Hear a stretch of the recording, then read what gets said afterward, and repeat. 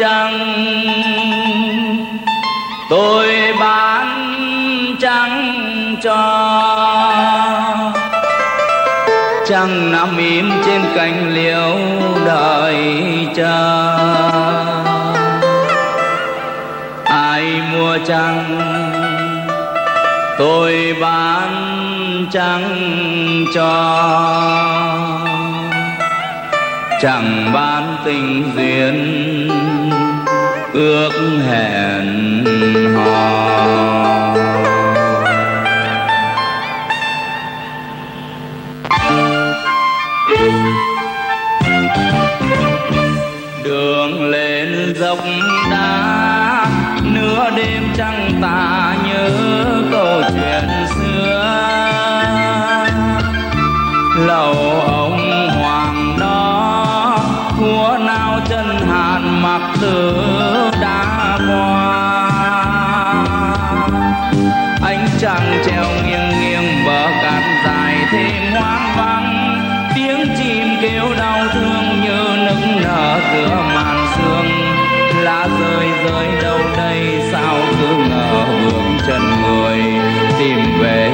đêm buồn. Đường lên dọc đá, nhớ xưa hai người đã một lần đến. Tình yêu vừa chớm, xót xa cho chàng cuộc sống quê nhân. Tiếc thay cho thân trai một dark.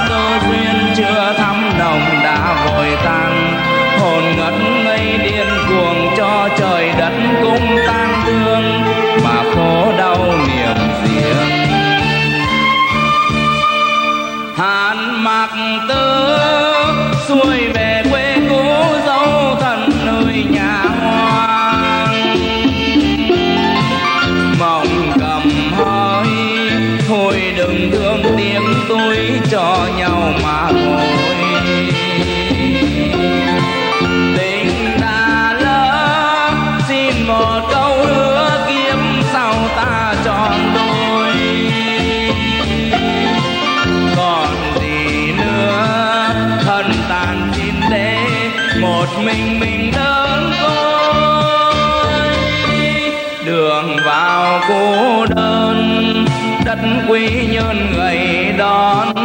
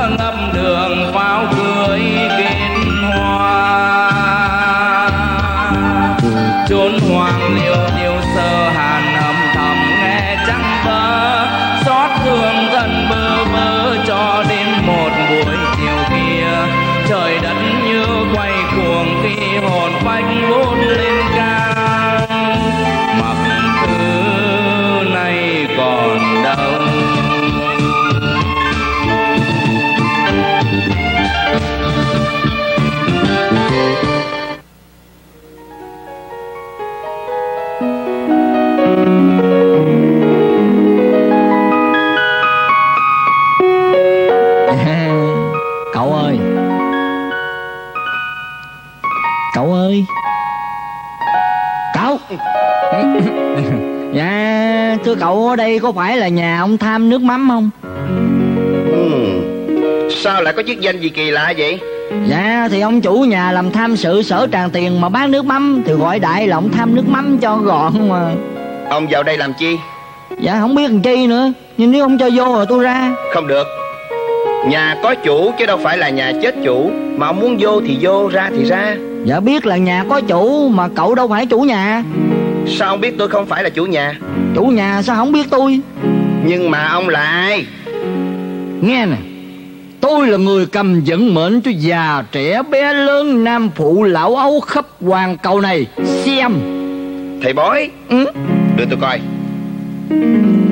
Ông đến xem bói ai trong nhà này vậy? Dạ cô Thu Cúc có dặn tôi đến xem cho cổ Nhân tiện lấy giùm cổ. Lấy gì? Lấy giùm lá số tử gì Hôm nay vợ tôi bệnh. Dạ ông đây là Kỹ sư Long Vị hôn phu của Thu Cúc. hôn phu của Thu Cúc. Thôi gì đó? Thơ của thân chủ bốn vương gửi khen tặng tôi về tài bói toán mà.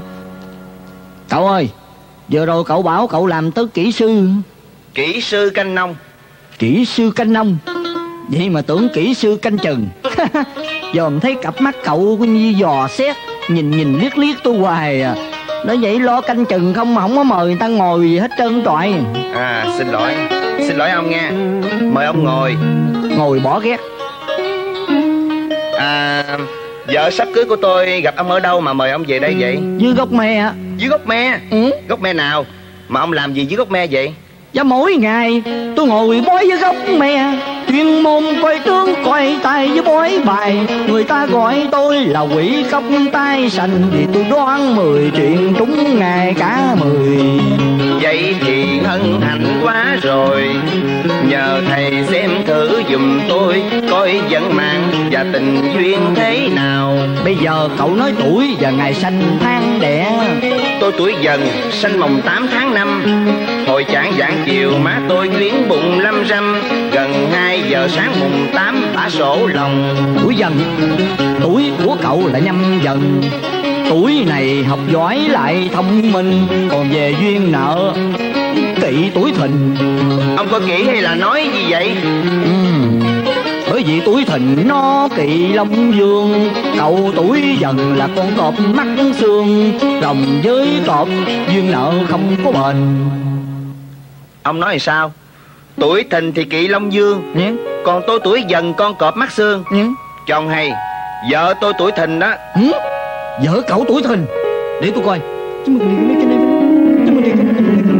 Ủa cha ơi, vậy là quy cho cậu rồi.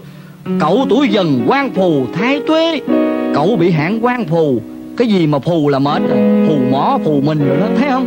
Năm nay cậu là bị sao la hầu chiếu mạng nữa. Cậu nên đề phòng bởi vì nam la hầu Nữ cây đô đi buông thì lỗ hỏng vô đồng nào. Dạ mời bác sĩ ra đây. Gì đó kỹ sư con? Ba Dạ. Dạ con coi bói. Kỹ sư mà cũng mê coi tướng số dữ ha. À giới thiệu với bác sĩ Đây là kỹ sư Long Rể à, của tôi. Chồng sắp cưới của cháu Thu Cúc đó Còn đây là bác sĩ Tùng. Hân hạnh được biết anh Long. Chào anh. Chào anh. Kìa Cậu Phú Ông đi làm nên không có biết Cháu là Tùng Bạn cùng lớp với thằng Trí đó. Hồi nhỏ đi học ở trọ nhà của cậu nè Cậu quên rồi sao? À Tùng Tùng tung tung tùng tung chưa nghe tới trời Trời ơi Tùng La Gia là cặp bài trùng với thằng Trí thi sĩ đó. Nè Lâu quá rồi không gặp anh Trí. Nghe nói lúc này anh bỏ quy nhân vô Sài Gòn lập nghiệp 3-4 năm nay rồi Mà cháu tìm hoài cũng không gặp nữa. Ủa, Mắt cậu sao vậy? Cậu đau mắt hả? Đau, đau mắt hột. Đau mắt hột? Nguy rồi đó nghe. Ngồi xuống đi Để cháu khám giùm cho. Để đâu là kéo màng đuôi đó. Đây đây đây nè Ngồi yên đi mà mà. Để cháu coi mắt coi. Sao cậu nhúc nhích và làm sao cháu khám nữa nhốt, nhốt. Ừ, cái nè. Cậu phố chạy đâu đó? Cho địa chỉ của ông Trí đi cậu phố Cái thằng cha và kỳ cục Đau mắt được bác sĩ khám mà còn chạy Làm tàn. Tại ông muốn được đuôi đó ba. À. Có đuôi mới ra dễ thầy bói chứ. Chắc vậy à. Ý ông thầy bói à, Ồ, ông bỏ quên cái này nè. Thế nào ông cũng quay trở lại. Thưa ba Con lên lầu thăm Thu Cúc nha ba. Ừ lên lầu đi con. Ủa thơ của ai đây? À thơ của thằng Trí. Ừ. Của ông phải không? Dạ Dạ cho tôi xin cái kia luôn. Làm thầy bói mà quên đồ nghề hoài Có ngày chết đói à nghe ông thầy. Dạ bởi vậy quên hoài nên đói hoài. Dạ cảm ơn ông. À khoan đã. Ông còn quên cái này nè. Dạ quên gì đâu. Ý, dạ, dạ cái thơ này là của thân chủ bốn phương khen tặng tôi. Nè Ông về mời cậu Trí đến đây. Ủa? Nói vậy ông xé thơ coi rồi hả? Phải. Mời cậu Trí tới Để tôi nói chuyện gia đình với cậu ấy Trang trải món nợ lời hứa ba năm Mày quá. Tôi cũng tìm ông bà để nói chuyện gia đình.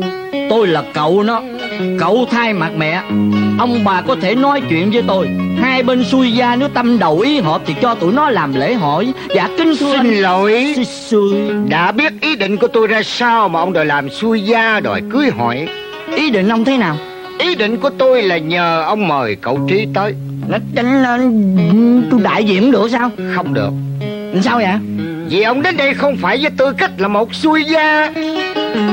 Mà ông đang đi lang bạc Làm cái nghề coi tướng coi tay Rồi ghé tạc vào đây. Thời buổi khó khăn tin một trong đôi ba việc Anh xui anh cố chấp làm chi tội nghiệp cho đàn trai Tôi đã bảo ông đừng nói dội tiếng xuôi gia Biết ba năm qua rồi cậu Trí lấy vợ hay chưa? Trời đất ơi! Tôi đã bảo cháu tôi còn origin chưa có đề phọt. Vậy chứ con gái của tôi đề phọt mê hết hay sao? Tôi nói hồi nào? Ông về đi chứ. Ông đứng đó ông nói hoài sao Vậy thì về. Nè Và ông cũng nên nhớ Ông phải biết cái thân phận của ông Và ông nghe cho kỹ cái địa vị của tôi. Tôi là Lê Trọng Đại Tham sự sở tràng tiền. Tưởng gì đó tôi biết rồi. Tôi biết ông là Lê Trọng Đại Mà ở nhà quê người ta nói đại là bự Mà nay làm chức tham ha. Thôi giờ kêu Lê Trọng Bự. Ừ. Tôi nhắc lại Tôi là Lê Trọng Đại Tham sự sở tràng tiền Yeah, Địa vị tên tuổi dài quá Nhớ không nổi đâu. Gọi tắt nha Tham tràn tiền gọi tắt Ông tham tiền. Chào bác. Ờ, à, coi sách cái gì mà dữ vậy? Đưa bác sách giùm cho một tay. Nè, phòng dành riêng cho cháu vẫn còn nguyên đó. Dạ để cháu đem vào được rồi. Khi này má cháu gửi ra biếu bác hai chai nước mắm thượng hảo hạng Mới sản xuất đó bác Nếu bác thấy bán được á, thì kỳ tới má cháu gửi hàng ra. À, à, à, à. Gì nữa đó? Dạ sắp giấy quảng cáo các món hàng mới Gửi bác luôn. Ai mà tới mua nước mắm á, thì bác cho họ mỗi người một tờ. Phép bác. Má cháu kỳ này giỏi đó ha. Biết buôn bán cái gì cũng vậy cháu. Đời bây giờ mà buôn bán thì phải quảng cáo Thấy không? À, Bác cũng vậy nè. Nước mắm của bác kỳ này bác cũng quảng cáo nữa. Để coi để coi má cháu quảng cáo làm sao đâu Ai mua trăng tôi bán trăng cho Trăng nằm trên cành liễu đợi chờ. Ủa? Quảng cáo nước mắm gì kỳ lạ Vậy. Vậy bác ơi à, Không phải đâu bác ơi Cái này nè bác à. À thôi cháu có tự nhiên nha à, Cốt à Mộng cầm ở Phan Khuyết mới vô nè. Thôi cháu ngồi chơi nha Để bác vô trong chút. Dạ. Hú, Quý nè Làm người ta hết hồn à. Sao? Bao giờ làm đám cưới vậy Định cuối tháng 8 này đó chị. Nhưng nghe lão thầy bói nói, Tôi ngán quá. À. Em ở đây tiếp chuyện với chị Mộng Cầm. Anh đi mua thuốc. Gần 12 giờ, Sợ nhà thuốc tây đóng cửa. Thôi em đi nghe chị. Hạnh phúc dữ ha. Còn chị, Đến bao giờ mới cho tụi em uống rượu nè? Em hả? Khi nào gặp được ảnh rồi mới tính. Ảnh ở đâu? Làm nghề gì? Ảnh nè, Làm nghề này nè. Mặt tử. Người yêu của chị là thi sĩ hàng mặt tử. Nghe nói ảnh là người quy nhơn mà. À ha Chắc mượn cớ ra đưa hàng rồi đi thăm ảnh luôn phải không? Đâu có. Em đâu có biết mặt ảnh Mà anh cũng biết mặt em nữa. Ủa? Rồi làm sao yêu nhau? Thì thì yêu ta trước, Rồi yêu người sau. Chờ có khó gì đâu. Nhưng rồi làm sao Và gặp nhau ở đâu? Ở tâm hồn, ở mối tình câm lặng, Ở hy vọng đợi chờ. Nhưng biết đến bao giờ Em đó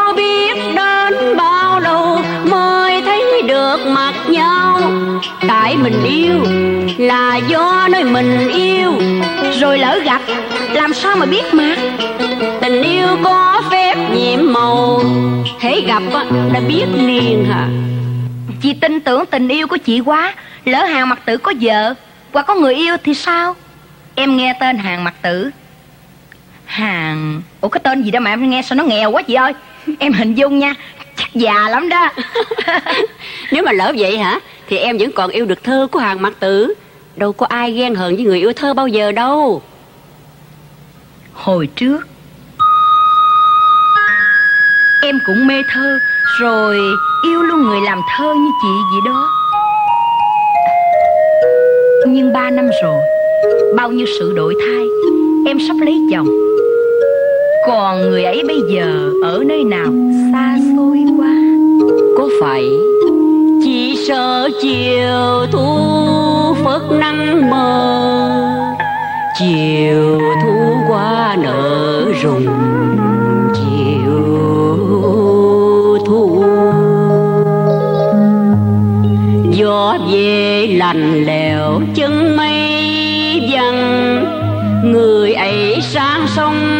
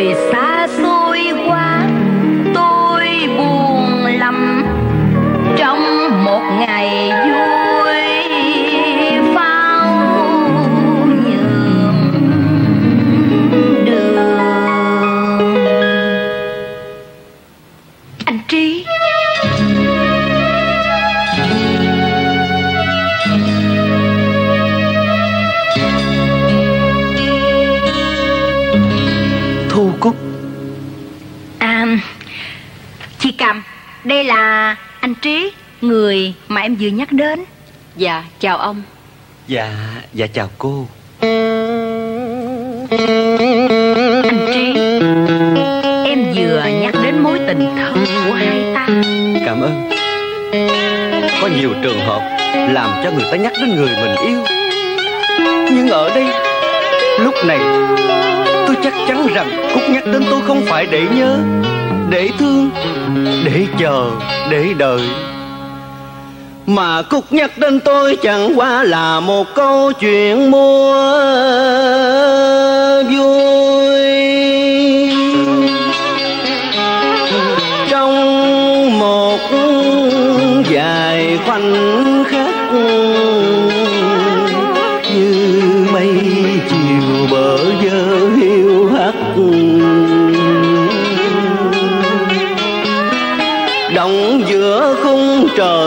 Cũng ngu buồn mà theo gió.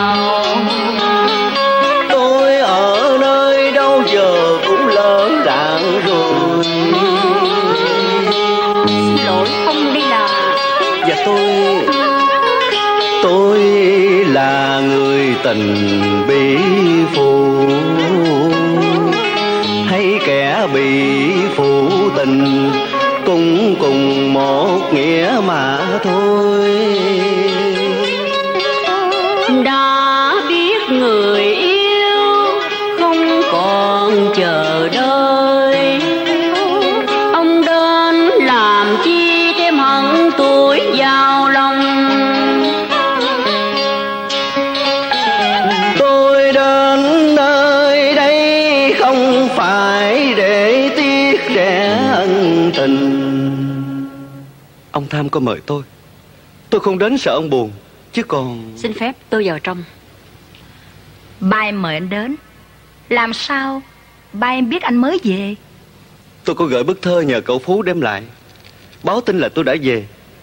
Nhưng vì một sự sơ hở bức thơ không đến tay người tôi gửi mà lại lọt vào tay của ông chủ sự. Trong cái rủi cũng có cái mai nhờ vậy mà tôi mới biết người yêu tôi hôm nay đã phải em đã có chồng. Anh anh hãy tha lỗi cho em. Không Em không có lỗi gì đâu. Em ví như một cánh hoa lộng lẫy giữa vườn xuân Còn tôi Còn tôi là một kẻ giữ giường phạm thượng dám yêu hoa Mà lại bất tài. Không dung sới cho hoa được hương nồng nhị thâm. Nên trở thành một kẻ si tình bạc số vô duyên. Tôi ước mong làm tươi thắm dương hồng, nay em theo chồng, thôi rồi hết mong.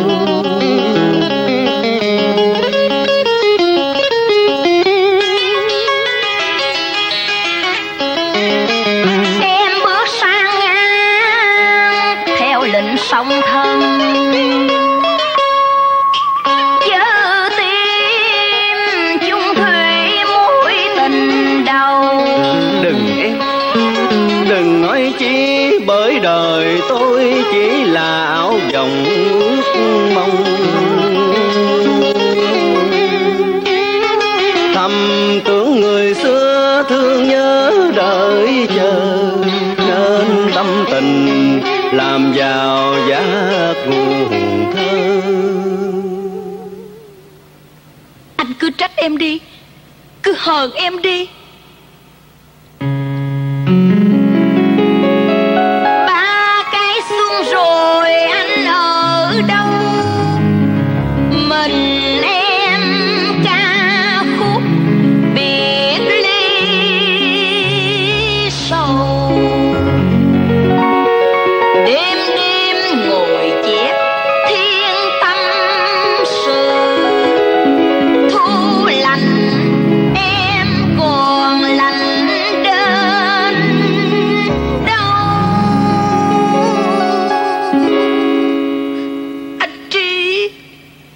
Ra thì cái tên Trí Cái tên Nguyễn Trọng Trí thơ ký phù động của ti công chánh quy nhân Đã bị người ta khai tử ba năm nay rồi. Tôi không muốn ai gọi đến tên đó nữa. Cũng như hiện tại Tôi không có quyền gọi tên Thu Cúc. Mà ngày nào tôi thường mượn tên em để gợi ý đề thơ. Ngày xưa là dĩ dàng, Bây giờ là hiện tại. Hiện tại tôi xin được phép gọi em là Bà Kỹ Sư Long. Còn tôi Lúc nào cần Bà cứ tự nhiên kêu tên tôi là Hàng Mặt Tử. Hàng mặt tử? Anh? Hàng mạc tử. Hàng mặt tử. Như vậy là bạn kỹ sư đã quên được tôi rồi. Hàng mặt tử? Tôi đang gọi một cái tên xa lạ nào đâu dù tên đó đang ở trên cao, Tổ cùng danh vọng Dù tên đó đã đem lại cho người ta một nguồn vui sống. Chứ còn tôi. Tôi chỉ nhớ đến một tên tri Một cái tên đã từng đem đến cho tôi bao nỗi sầu nhớ, buồn, vui.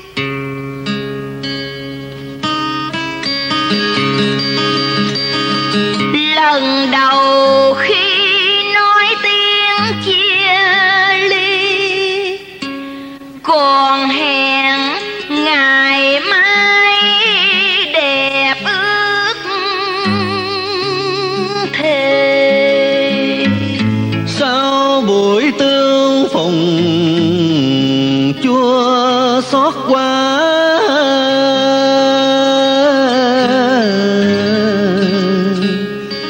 ngày em khoác áo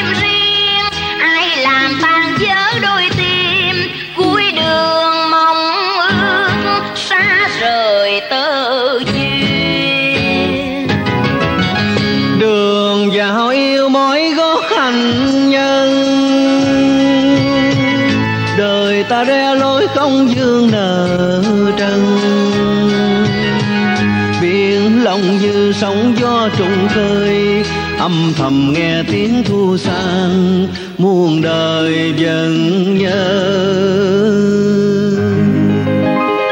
Chuyên lòng ly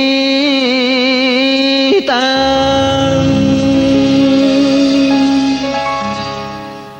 Nhưng định mệnh khắc khe và lòng người nghĩa cay trao trở nên chuyện lứa đôi duyên nợ.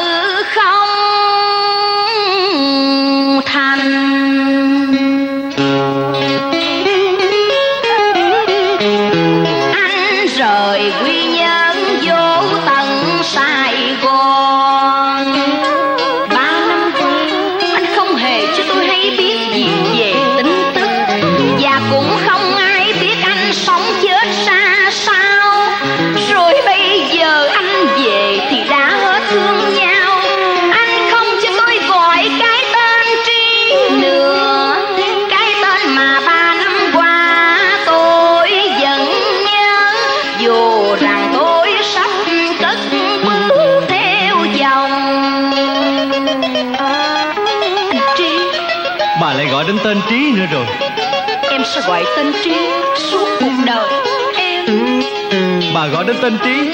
Rủi ông kỹ sư long ông nghe được thì tôi biết ăn làm sao, nói làm sao để chạy tội cho bà đấy chứ. Tôi muốn bà và kỹ sư long có hạnh phúc.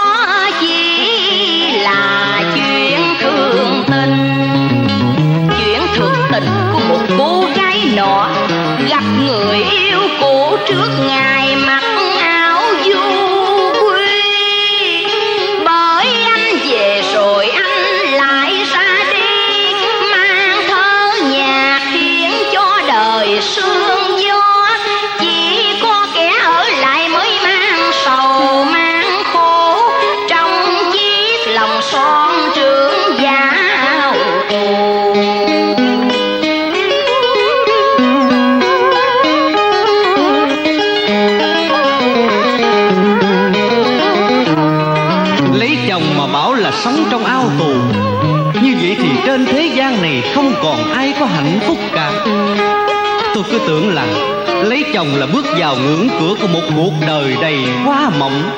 Rồi sau một thời gian ngập tràn hạnh phúc Bà cũng sẽ như ai tay bế tay bồng. Lúc bây giờ bà đã đi vào bổn phận. Bổn phận làm vợ, làm mẹ Thì bà đâu còn thì giờ nhắc chuyện ngày xưa. Không những bà sẽ quên cái tên hàng mạc tử Cái tên bà vừa bảo là có nhớ, mà ngay cả tên cũng con của tôi là trí bà cũng quên luôn vì gánh nặng gia đình. Gặp tôi bà sẽ hỏi, ông là ai? Ông đến đây đi làm gì? Rồi bà cô moi trong trí nhớ, khi nhận được nhau rồi thì tôi với bà tóc đã ngả màu xương.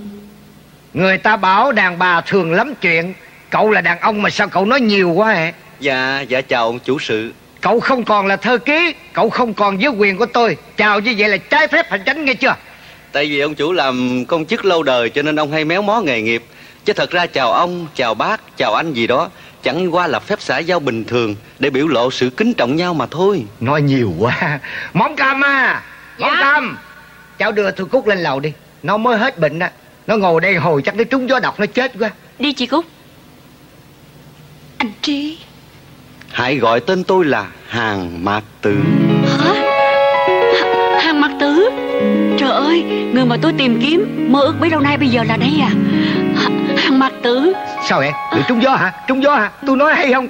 Ngồi đây là hồi là trúng gió Đưa nó lên lầu Mau đi Cậu về sao không tới tôi Dạ thưa tới rồi. Cậu đợi tôi mời cậu mới tới Dạ đó là lúc thừa trừ. Vì trước đây 3 năm tôi cũng đợi ông chủ đuổi tôi mới đi. À bây giờ có dịp cậu trả thù phải không Dạ tùy, ông chủ muốn hiểu sao cũng được. Không phải tôi hiểu mà cậu phải hiểu chứ Cậu phải hiểu Cậu hiểu chưa Dạ chưa. ừ, Cậu phải hiểu chứ Cậu hiểu rằng con Thu Cúc nhà tôi Sắp tới ngày thành hôn. Nên ông mời tôi đến đây để thanh toán nợ nần.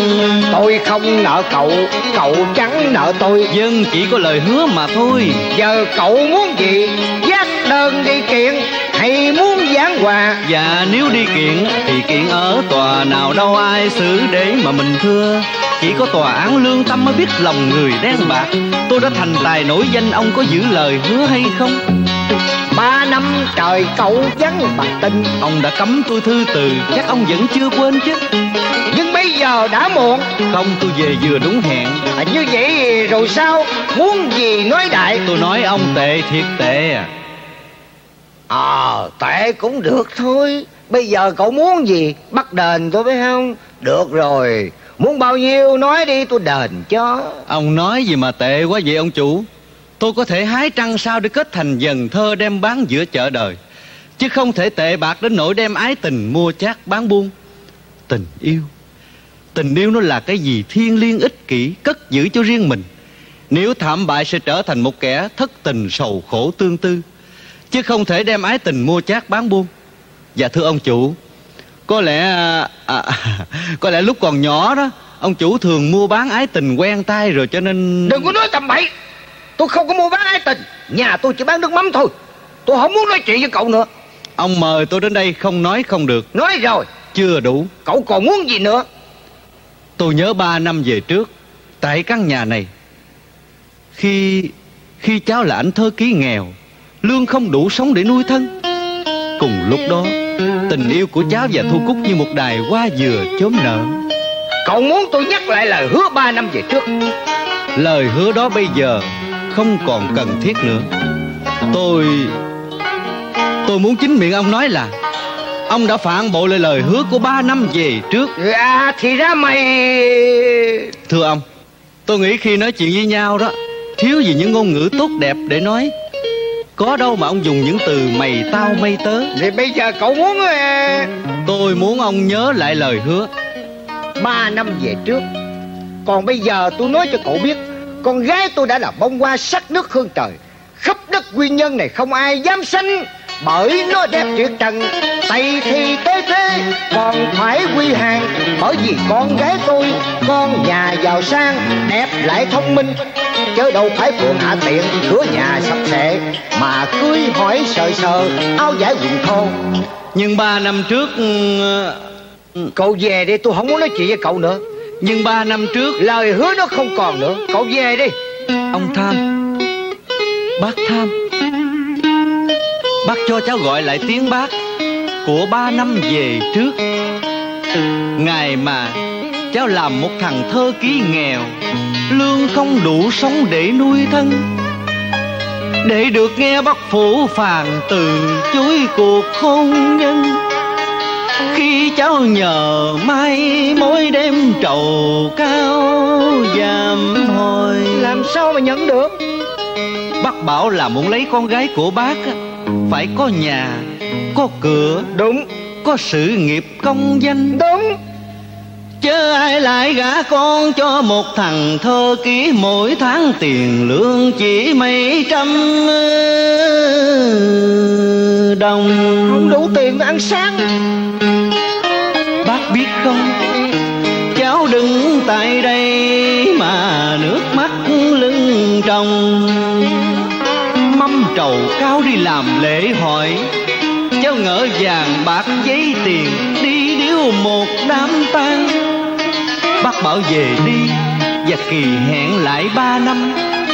Ráng nhịn uống nhịn ăn Để dành lương thơ ký. Hoặc đem mấy bài thơ mày đi bán rẻ cho mấy người điên ngâm giữa chợ đời. Rồi bây giờ cậu đã bán được chưa? Ở chợ đời có mấy người điên mua thơ của cậu? Dạ nhiều lắm bác à. Ờ mong cầm nói tiếp với bác coi thơ của ảnh bác đọc rồi. Hồi nào? Điều bác đọc nhiều thơ của ảnh mà chẳng biết yêu người sáng tạo. Trong lúc người điên đọc thơ ảnh còn biết tên biết tuổi kẻ nặng ốc nặng tim. Anh hàng mát tử là người từng mến chuộng thơ anh. Tôi xin được làm quen với hàng mắt tư. để trần gian này có thêm một người điên nữa. Được đọc thơ anh ngạo nghệ giữa chợ đời.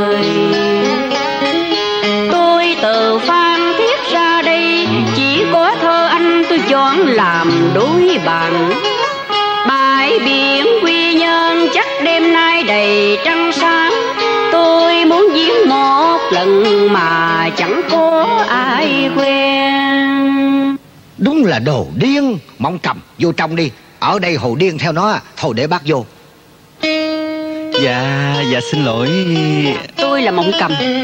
À, còn tôi là hàng mã tử. Dân tôi biết và tôi hằng mến bộ thơ anh. Cảm ơn. Tôi là người sinh trưởng tại quy nhơn. Giữa tôi và mộng cầm nếu không thông cảm với nhau về thơ văn thì bổn phận người địa phương cũng có thể giúp khách nhàn du khi họ cần tìm đến. Cảm ơn anh. Tôi nghĩ rằng ở đời khó tìm thấy cảnh thanh bình.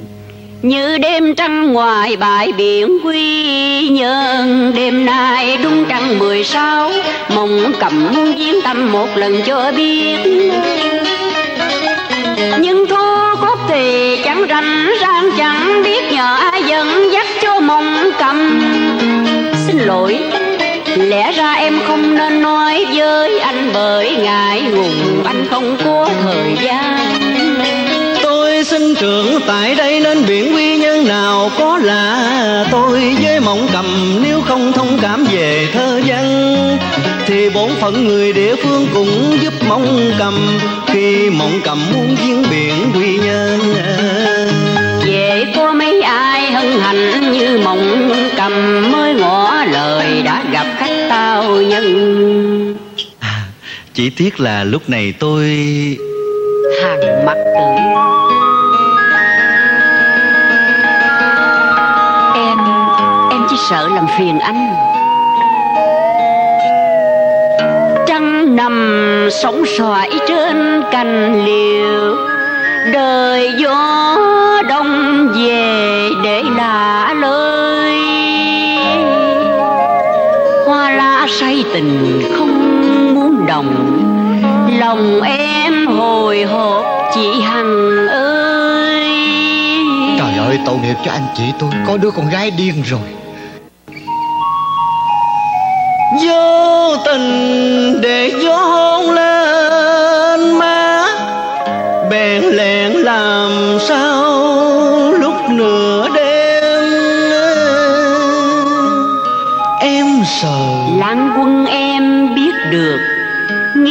ngờ đến cải tiết chính em. Trời ơi hai đứa nó điên rồi. Nó không biết trời trăng gì nữa hết. Con điên gặp thằng điên. Dạ xin phép bắt cháu đi. Và đừng bao giờ trở lại đây nữa. Dân Hàng mặt tử Mộng cầm xin được tiễn chân anh trên một đoạn đường. Vinh hạnh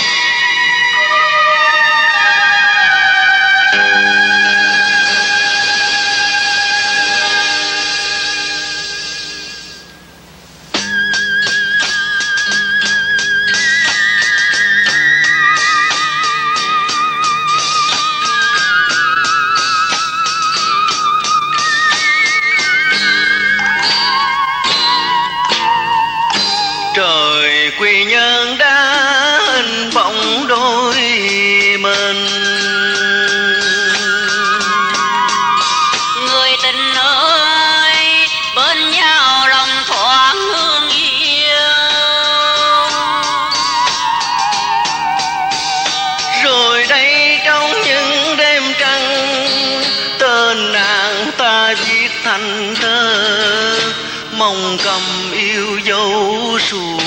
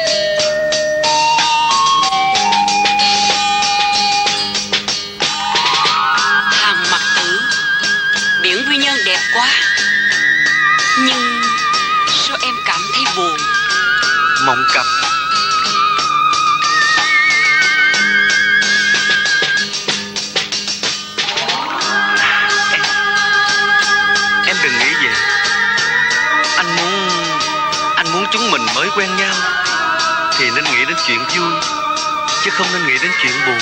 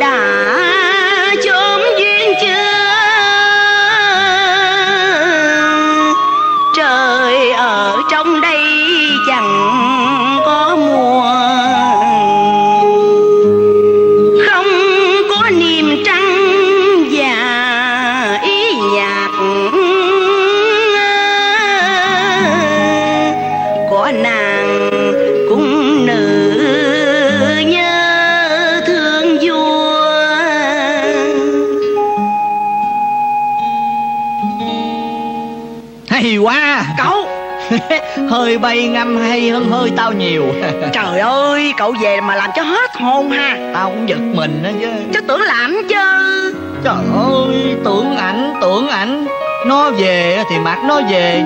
Mai đình làm thơ thì cứ việc làm thơ chứ gì sợ. Cháu đâu có biết làm thơ. Ừ. cháu đọc trộm thơ của ảnh đi chứ. Nè ảnh về cậu đừng có mét nha ảnh la cháu tội nghiệp nha.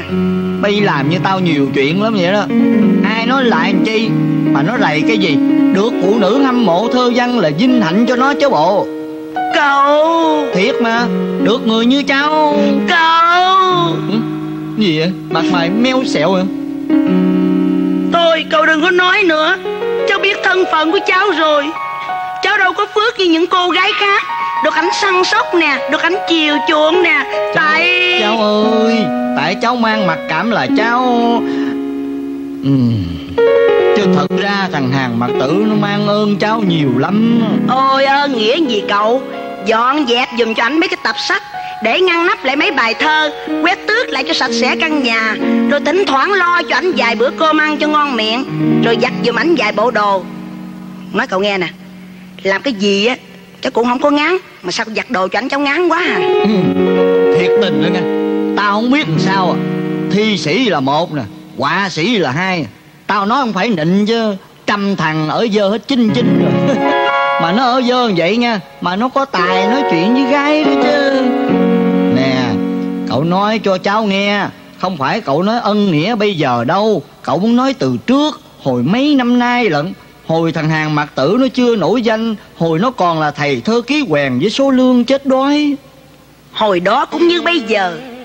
Trước sau gì thì mai đình cũng chỉ là cô gái láng giềng người cùng chung lối ngọ ngăn cách một vuông rào nên hai đứa dễ làm quen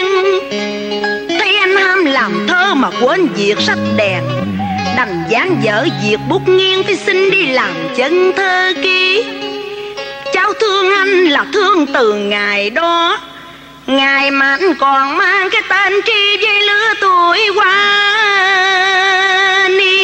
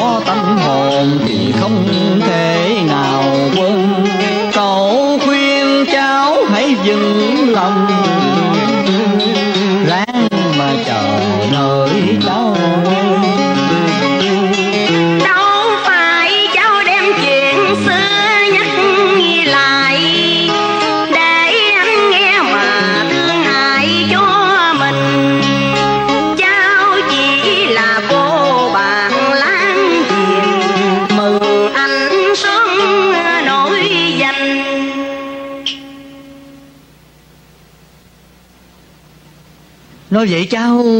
Hồi trước anh chưa nổi danh thì cháu còn hy vọng chứ bây giờ thì trời ơi Bày nói gì mà như đất lỡ trời nghiêng Tao giống từ trên trời rơi xuống quá Thôi được rồi ngồi xuống đó. Chi cậu? Thì ngồi đi. Ngồi chi? Đưa tay tao coi. Hả? Đưa tay cậu coi. Ừ. Nè Chi cậu? Nè mày thấy không? Trong bàn tay có một đường chỉ mà tiếng Tây gọi là Linh được cưa điện lên nói rõ chuyện duyên tình, Gọi là đường vợ chồng. Theo đường chỉ tay về vấn đề duyên nợ, Thì cháu chỉ yêu một người duy nhất mà thôi. Có ăn ở với nhau không mà chuyện này chưa biết được, Phải chờ tới ngày rắn lông đầu bạc. Mới biết được rõ ràng vì đó là chuyện mai sau. Cậu đó thật hay cháu xin khâm phục. Người yêu cháu là ai cậu nói cho thành thật. Người này làm nghề văn chứ không phải nghề võ. Cháu yêu trong âm thầm Có đúng vậy không? Vậy làm sao cháu có thể mở lời? Cậu có cách nào giúp đỡ cháu được không Trời ơi cậu đâu biết người cháu yêu là người nào? Người ấy đây nè mời cậu hãy xem. Mày yêu giấy hả mày? Coi đi rồi biết. Cái gì đây? Hàng mặt tử. Tôi sao? Ha mày về đúng lúc quá. Dạ. Mai định nó nhờ cậu nói với cháu là Kỳ lắm. Hả? Tôi sao kỳ? Ai nói mày kỳ? Nó nói Thôi cậu Con mặt cháu đây cậu nói kỳ lắm. Thì mày đi đợi đằng kia kìa Bịt mắt bịt lỗ tai lại tao nói. Thôi giờ em về bển này nha. Ừ. Em về nha anh Trí. Em về chút xíu em qua nha. Về với cậu. Ờ về đi. Lát nữa qua nghe tao tuyên bố kết quả. Nhưng tao nghi rớt quá Đậu nổi gì Mặt này buồn quá. Cháu biết Mai Đình nhờ cậu nói với cháu việc gì rồi.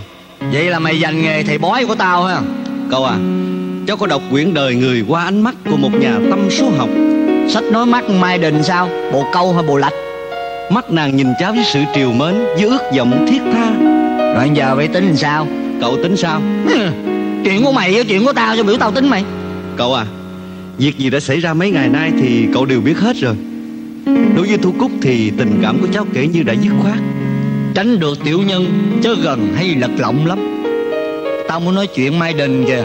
Sao? Dạ Chà, Đối với Mai Đình chà. thì Ngần ngừ ngần ngừ. Chắc Mai Đình lọt sổ quá ha. Cậu à Đối với Mai Đình thì cháu chỉ xem cô ấy như một cô gái láng giềng hiền hậu. Cậu Cháu nhờ cậu an ủi Mai Đình giùm cháu. Cậu an ủi nó mấy năm nay rồi. Đâu cần đợi tới bữa nay cháu nhờ cậu mới nói đâu. Nếu vậy thì cháu không thể ở đây lâu. Cậu à Chút nữa Mai Đình qua đây đó Cậu kêu Mai Đình bỏ mấy bộ đồ vô vali giùm cháu. Để sáng mai cháu đi Sài Gòn sớm. Rồi mày có đem nó theo không? Vào Sài Gòn đem Mai Đình theo chi hả cậu? Đâu phải Mai Đình Chê Mày làm như tao không biết gì hết vậy. Quá trời mà. Mấy đêm nay đêm nào hai người cũng dắt nhau ra bãi biển tâm sự tới khuya Ngâm thơ cho biển nghe ha. Sao nay về sớm quá vậy? Mỗi lần có một hai giờ lận mà Dạ hôm nay Mộng Cầm bị cảm Cho nên cháu đưa Mộng Cầm vào nhà trọ sớm hơn một bữa. Vậy mà tôi lại cứ ngỡ mộng cầm còn ở đây nên đến tìm. Hồng Sương Em ở Sài Gòn ra đây hồi nào? Chắc anh ngạc nhiên về sự có mặt đột ngột của em lắm phải không? Thằng cháu tôi nó nói cô ờ, ra hồi nào không cho nó hay Chứ nó chưa có hỏi tại sao cô ra đột ngột. Ủa Nãy giờ bác ở đâu mà sao cháu không thấy? Nhờ tôi nhỏ con giống con voi nên con không thấy. Dạ thưa bác Vậy cháu mới ra. Cổ mới ra trong lúc mày chưa vô. Ha chắc cô ra tìm nó vô Dạ Dạ tìm vô đâu? Ủa nói vậy con không phải nhà báo sao? Dạ không phải cậu à. Trời ơi vậy lọt rơ rồi. Sao không giới thiệu ai biết? Đây cháu sẽ giới thiệu cho cậu biết. Đây là Hồng Sương Một nữ độc giả ái mộ thơ của cháu đăng trên báo Chứ không phải là nhà báo. À còn đây Giới thiệu với Hồng Sương Cậu Phú Cậu tôi. Dạ. Hồng Sương em ngồi đây nhé. Anh vào trong lấy nước. Dạ cháu hân hạnh được biết cậu. Dạ. Hử? Coi bói hả? Dạ không Dạ cháu muốn bắt tay với cậu mà. À ha bắt tay hả? Dạ. Lịch sử quốc tế. Sẵn coi bói luôn Không có lấy tiền. Chà Bàn tay này nhiều chỉ quá. Rắc rối cuộc đời Rắc rối cuộc đời Tình yêu lãng quảng. U cha ơi Bàn tay này Số sau này đi tu á. Cậu. Ừ, Thiệt mà. Nhưng sẵn đây à, tôi cũng cảm ơn cô. Cảm ơn cô đã mến mộ thơ của cháu tôi nên lặn lội ra tới đây. Mà sao cô biết nhà hay quá vậy? Nhà không có số mà. Dạ cháu biết nhà được là nhờ ông bà Tham Đại lý hãng nước mắm ở Quy Nhơn cho cháu địa chỉ. Còn còn lý do cháu tìm gặp hàng mặc tử Chẳng phải vì quá mê thơ.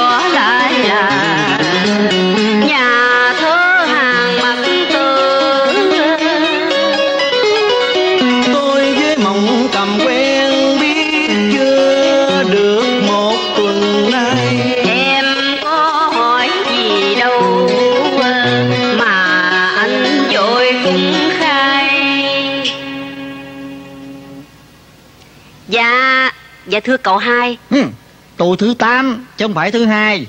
Muốn kêu chắc ăn mà kêu theo lịch đó ha Thì cô kêu tôi là cậu chú Nhật đi. Ừ.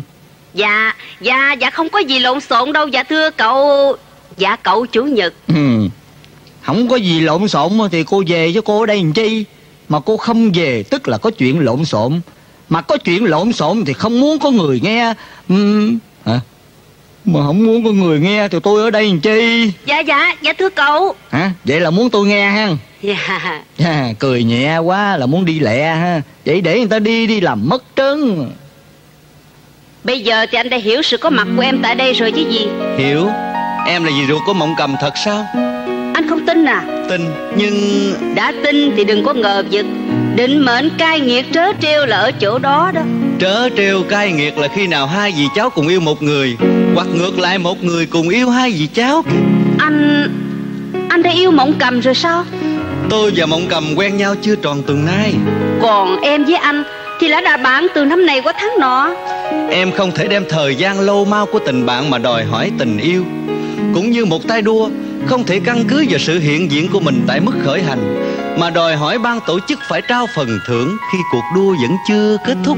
Nhưng em thiết nghĩ Người chủ giải theo dõi cuộc chạy đua Phải đủ sáng suốt để nhận định ai là người thắng cuộc Khi đã gần tới mức ăn thua chứ. Chưa có thể biết được đâu Vì giờ chót thường xảy ra tai nạn bất ngờ. Hơn nữa đường còn dài Cuộc đua còn nhiều chặng. Anh Anh không có một lời khuyến khích nào đối với em sao? Trong cuộc đua rắc rối này Tôi cần vô tư và không thiên vị Thôi thì Em cũng ráng sức mà tranh đua. Dù cuộc đua chỉ có hai người. Không phải hai người Mà sau lưng em á, còn nhiều người khác nữa. Đã ở sau lưng em thì không phải là đối thủ. Em không sợ những người đó Mà em chỉ cần lưu ý một đối thủ. Đang ở ke ke Bên em Phen này phải ăn thua đủ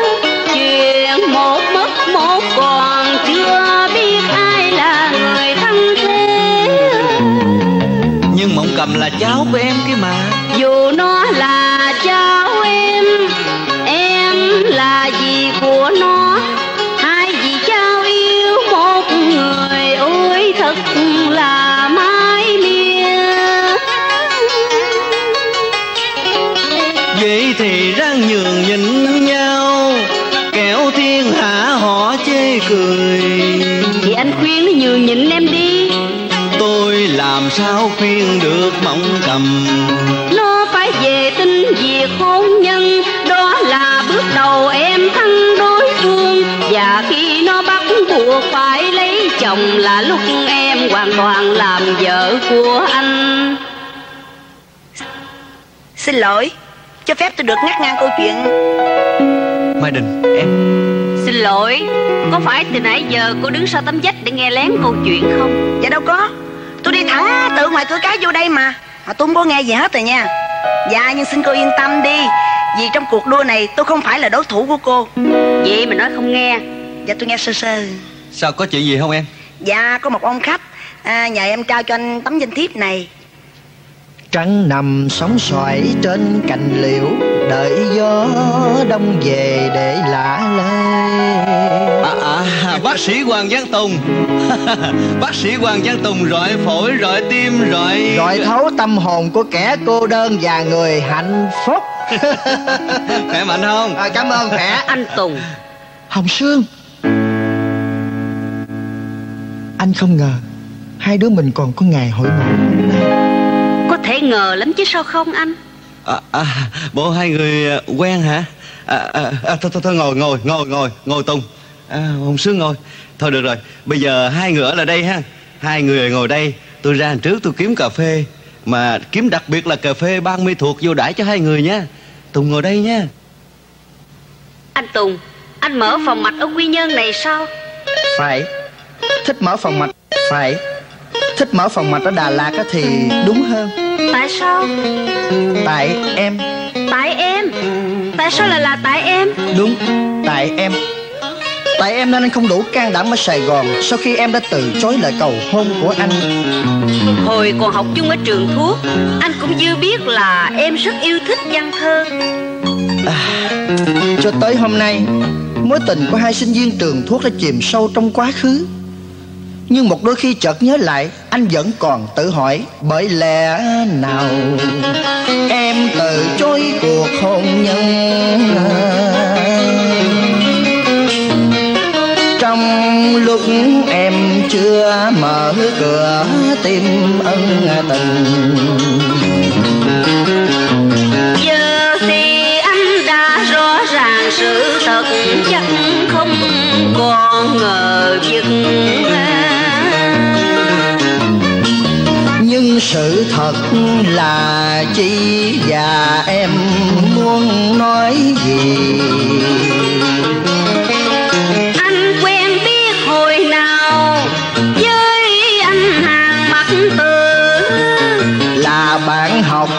trường, hồi còn thơ trẻ. Đến khi lớn khôn, mỗi người đi một ngã.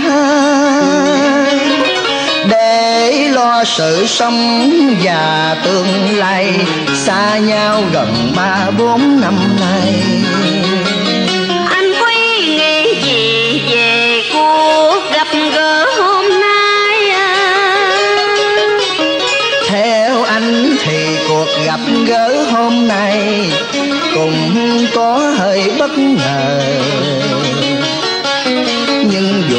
Sao thì anh cũng vì tình là bạn và biết thế nào là bổn phận em đang đợi chờ tiếng nói của anh để cho em yên lòng. Anh còn biết nói gì hơn là lời cầu chúc chúc em với bạn mình được bền duyên tơ tóc. Anh tù, anh nói thật tình hay chỉ là xã giao thường thức. Khi lòng còn giống tưởng đến em mà mấy năm rồi chưa thể lãng quên. Anh tùng, anh đã quên em được chưa? Tại sao em cứ mãi hỏi tôi câu đó? Khi em đã quên tôi và hiện tại Em đang có người yêu. Hàng mặt tử chưa phải là người yêu hiện tại của em Nhưng em tin tưởng ở tương lai em sẽ chiếm được tim chàng. Nếu như anh... Nếu anh đừng có mặt nơi đây Nếu anh đừng đến thăm hàng mặt tử hôm nay Em muốn nói như thế phải không? Không, em muốn nói... Em đừng sợ Đừng sợ một hạt cát lọt qua kẻ chân sẽ làm trở ngại cuộc hành trình. Đừng sợ một chiếc lá rơi sẽ làm tan vỡ ánh trăng. Trên mặt hồ thu êm đềm không gợn sóng. Nếu cần, Anh cũng xin đem tình anh đây lót thay thảm cỏ cho em bước du quy để người anh yêu đặt gót chân hồng. Dùng quen cho em một hạnh phúc vuông tròn. Nếu là ngày xưa cô dâu ngồi trên kiểu cưới, anh tình nguyện làm một gã kiểu phu nhưng thời nay chứ không phải thời xưa. Em lên xe qua có kẻ đón người chờ. Anh đứng bên lề vỡ nón tiễn đưa.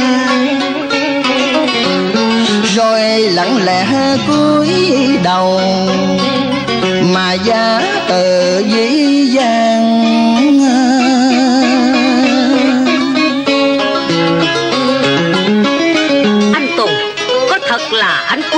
giả từ dĩ dãn không? Anh giúp cho em thật không? Anh hy sinh cho em thật không? Em thử đưa ra một điều kiện nào đó, Xem anh có phải là kẻ biết giữ lời hứa hay không.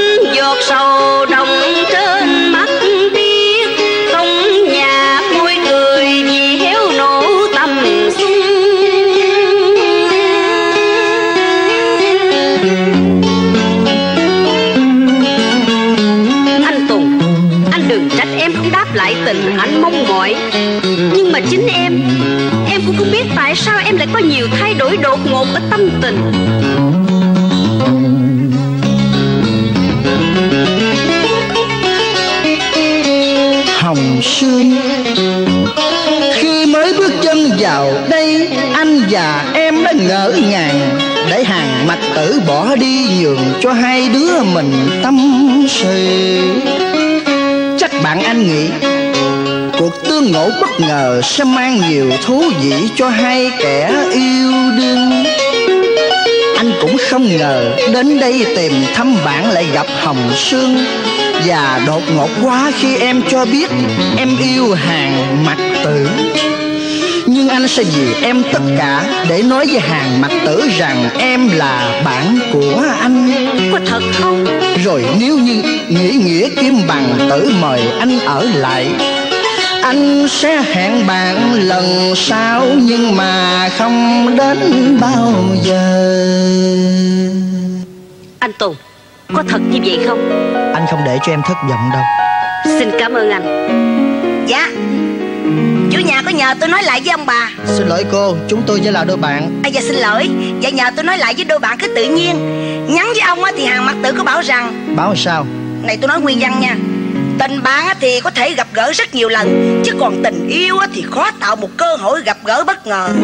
Chứ cha bất ngờ gì quên à? À bất ngờ thú vị. Xin lỗi cô Anh hàng mặt tử đã hiểu lầm chúng tôi rồi.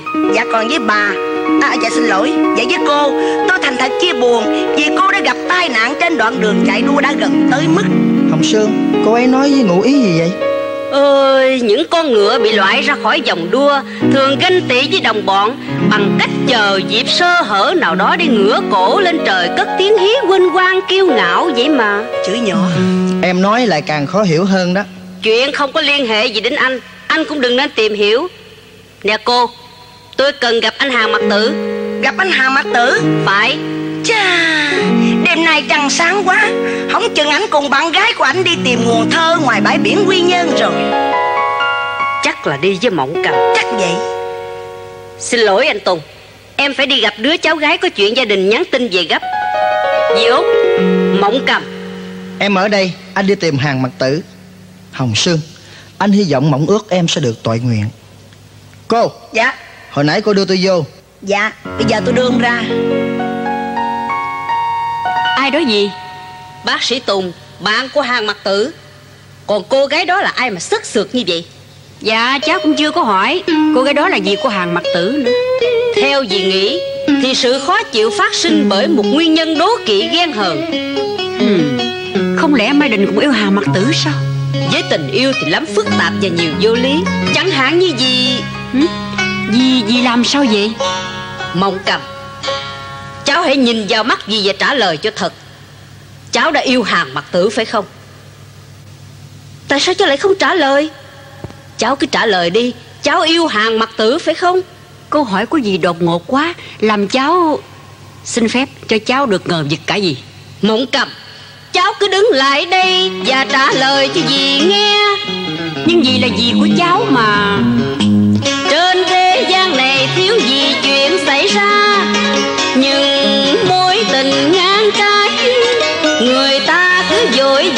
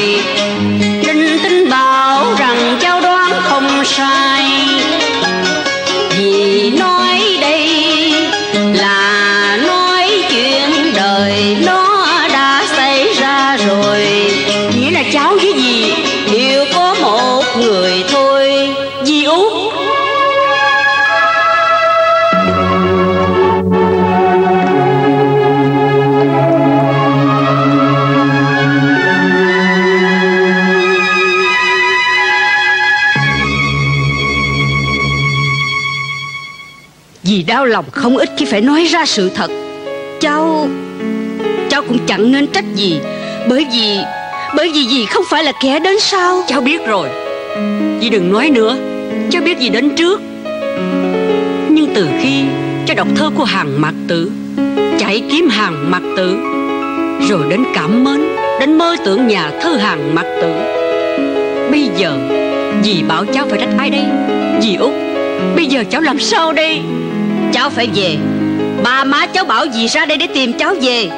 Về ba má cháu à? Phải Cháu không có quyền ở lại quy nhân Hàng mặt thử cũng không có quyền Đêm từng đêm dìu cháu đi tìm tứ thơ trên bãi biển. Vì mỗi người đã có một bổn phận. Bổn phận? Bổn phận của cháu là phải về để đền ơn cho cha mẹ. Gái lớn khôn rồi 20 tuổi đầu rồi Không thể nào ăn bám mãi cha mẹ mà không nghĩ đến việc hôn nhân. Dì kêu cháu về về chuyện đó thôi sao Phải. Rằm này bên đàn trai xin đem trầu cao tới giảm ngõ đi xem mắt cô dâu. Cháu không thể nào vắng mặt được. Dì Út Dì thương cháu thật lòng mà lo nghĩ tới tương lai của cháu. Hay dì đã lợi dụng một quyền hạn Bắt buộc cháu phải tuân theo mệnh lệnh? Mộng cầm. Dì phải cho cháu nói Cháu cảm thấy sự lo lắng của dì. Quận chứ một cái gì không minh bạch. Mộng cầm Dì cấm cháu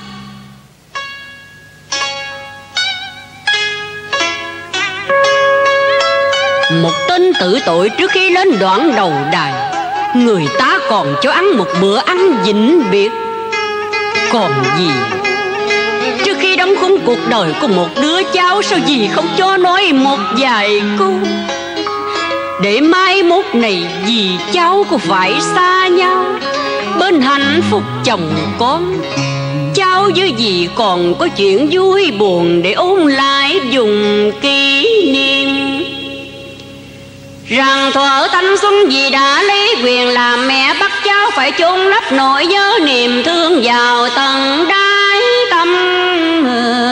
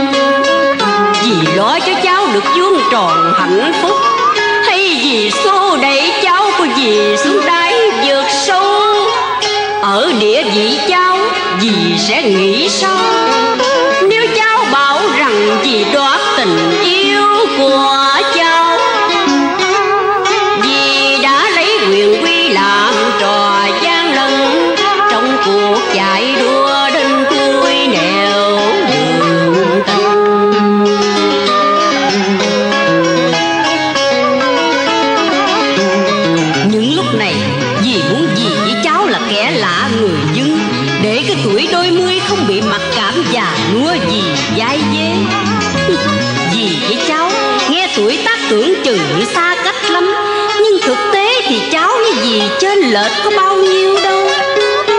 Cháu không cần biết gì có quen hàng mạc tử bao lâu. Trường hợp nào trở nên thân thiết, cháu không cần xoay gương điểm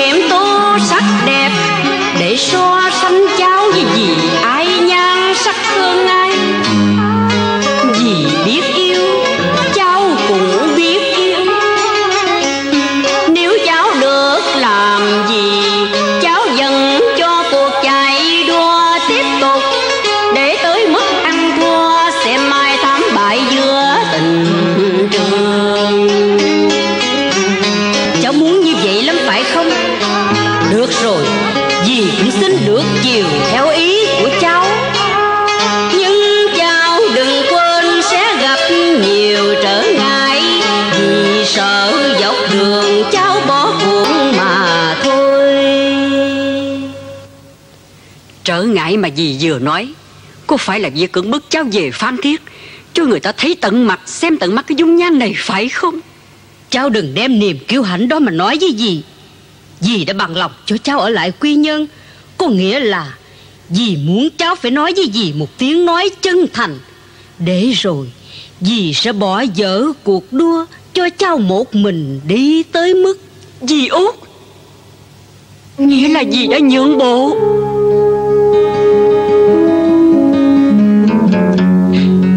út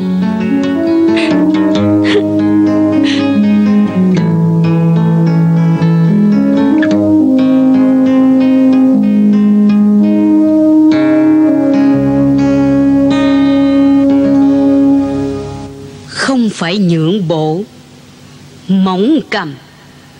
Móng cầm ơi bởi thương cháu.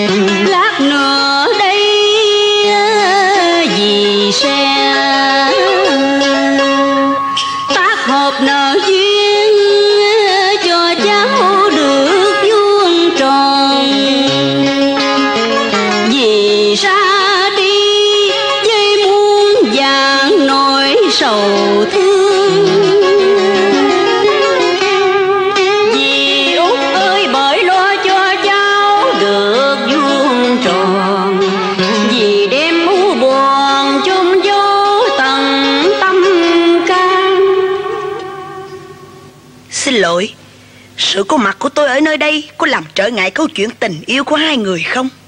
Tất nhiên là không. Bởi cô với chúng tôi không cùng đi chung một đoạn đường Thì sự trở ngại không bao giờ có được. Và cô không phải là người yêu của hàng mặt tử. Không. Tôi không yêu hàng mặt tử. Tôi chỉ yêu anh Trí mà thôi. Cô cũng yêu hàng mặt tử à? Không được sao cô? Được chứ Nhưng Nhưng tôi chỉ yêu trong âm thầm lặng lẽ Không nói được thành lời như hai dì cháu nhà cô. Vậy thì tốt hơn là tôi khuyên cô nên bỏ dở cuộc đua. Để cho cháu của cô không gặp điều trở ngại Có phải vậy không? Thà là bỏ cuộc dở dang Hơn là phải rước lấy đau thương thảm bại. Tôi thương hại cho cô mới khuyên nhủ Chứ chẳng phải tôi ghét bỏ gì cô đâu. Cảm ơn cô.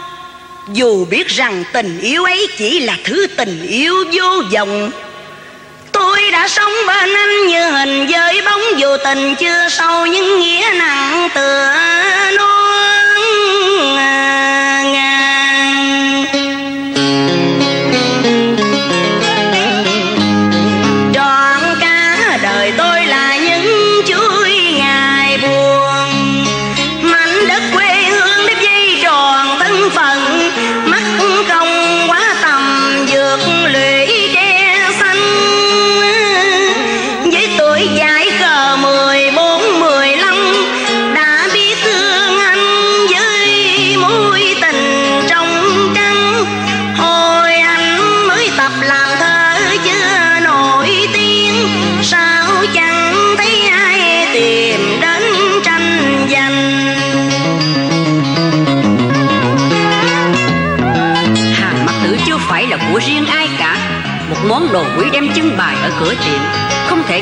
người qua kẻ lại dừng chân.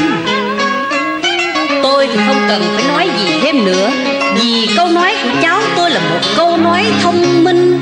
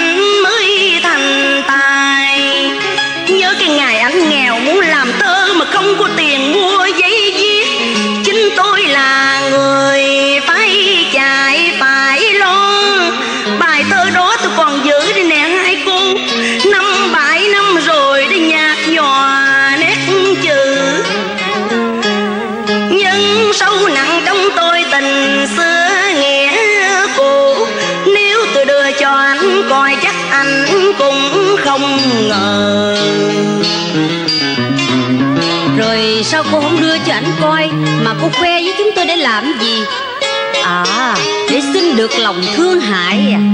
Nếu tôi có xin tôi xin cô này nè, Chứ còn cô á, Hình như tôi thấy cô cũng không có chỗ đứng trong trái tim của anh Hằng Mạc Tử.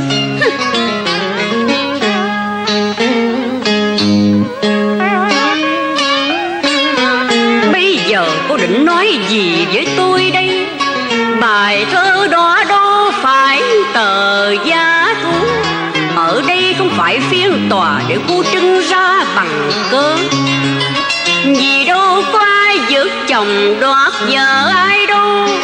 Nói đúng ra đang có cuộc tranh chấp tình yêu.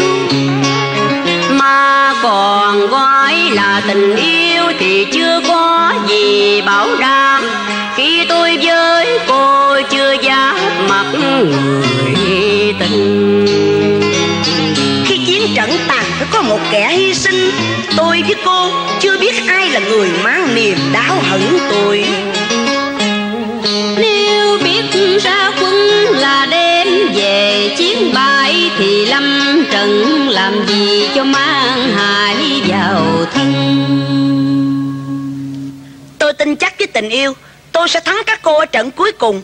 Dù lúc đầu vào trận đấu, tôi là người đầu tiên thảm bại.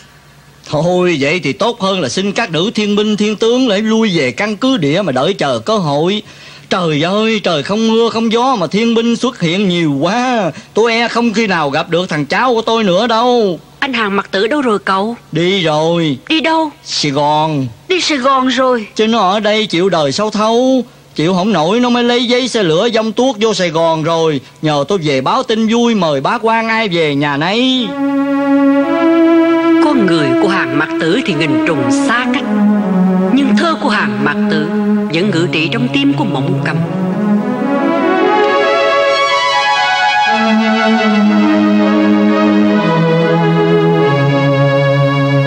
Tình yêu của ta đối với hàng mặt tử không trọn vẹn. Ta sẽ tìm đến một tình thương thiêng liêng hơn, Cao cả hơn. Đó mới là một tình thương vĩnh cửu.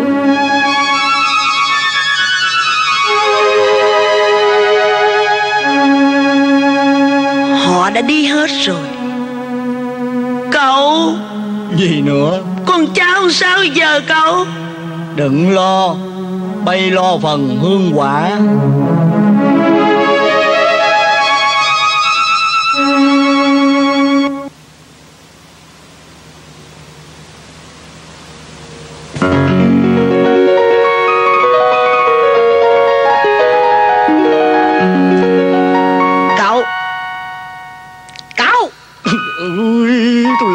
chết mà cứ cẩu cẩu hoài.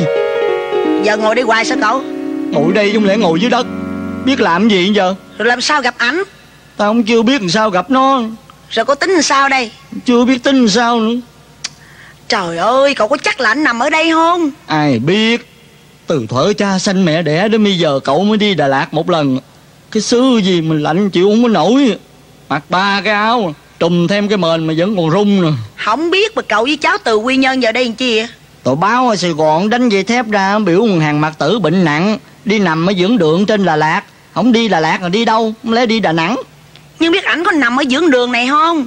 Cậu hỏi rồi. Đà Lạt có hai dưỡng đường à. Một cái thì để cho sanh nở Một cái là trị bệnh. Không lẽ nó nằm bên chỗ sanh nở mày? Vậy thì chắc ảnh nằm ở đây rồi á. Ừ Trời ơi dưỡng đường gì mà ngồi cả buổi Không có gặp một người nào để hỏi thăm nữa. Dưỡng đường này chắc trị bệnh giỏi lắm mà. Bệnh nhân vô nhiêu đứt bóng hết Thì ra vắng teo à. ý, ý. Có người tới có người tới rồi cháu ơi. Ông Ông muốn nằm phòng nào? Ý cha. Tới thăm người mà Họ cũng cho mình một cái phòng nữa. Tao khoái tao khoái ở đây có bộ lịch sự à cháu.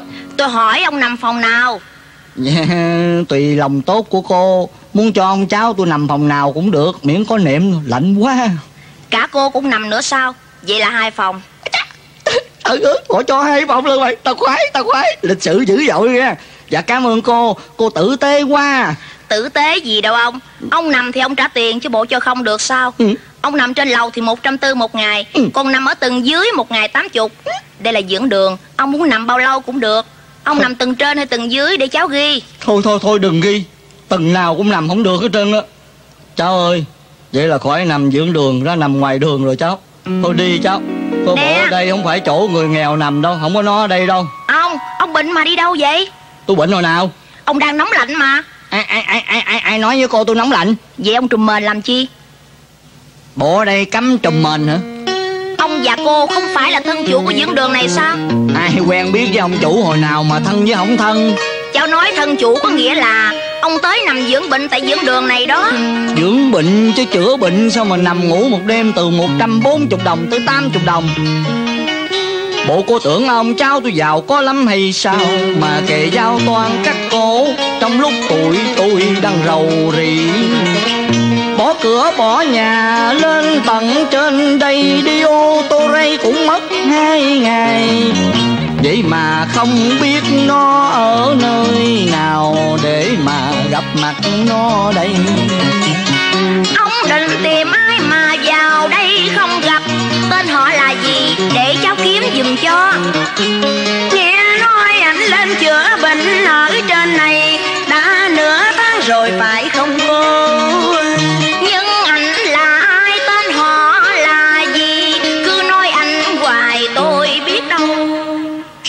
Nói tên ra đi Ảnh ảnh hoài ai biết. Dạ Tên của ảnh là Nguyễn Trọng Trí. Biết hiểu biết hiểu. Mà người ta thường gọi ảnh là Hàng Mặt Tử. Dạ. Xin lỗi Ông và cô là thân nhân của nhà thơ Hàng Mặc Tử à? Dạ tôi là cậu. Còn Mai Định là Giới thiệu lại gì cháu? Thôi được rồi. Dạ Mai Định là thôi được rồi Trời ơi Vậy mà ông với cô không cho tôi hay liền. Anh Hàng Mặc Tử nằm trị bệnh ở đây vài tháng nay rồi. Thật vậy sao cô? Trời ơi cậu ơi ừ? Tiền đâu mà anh nằm tới cả trăm đồng một ngày lận. Mà anh nằm tới mấy tháng rồi.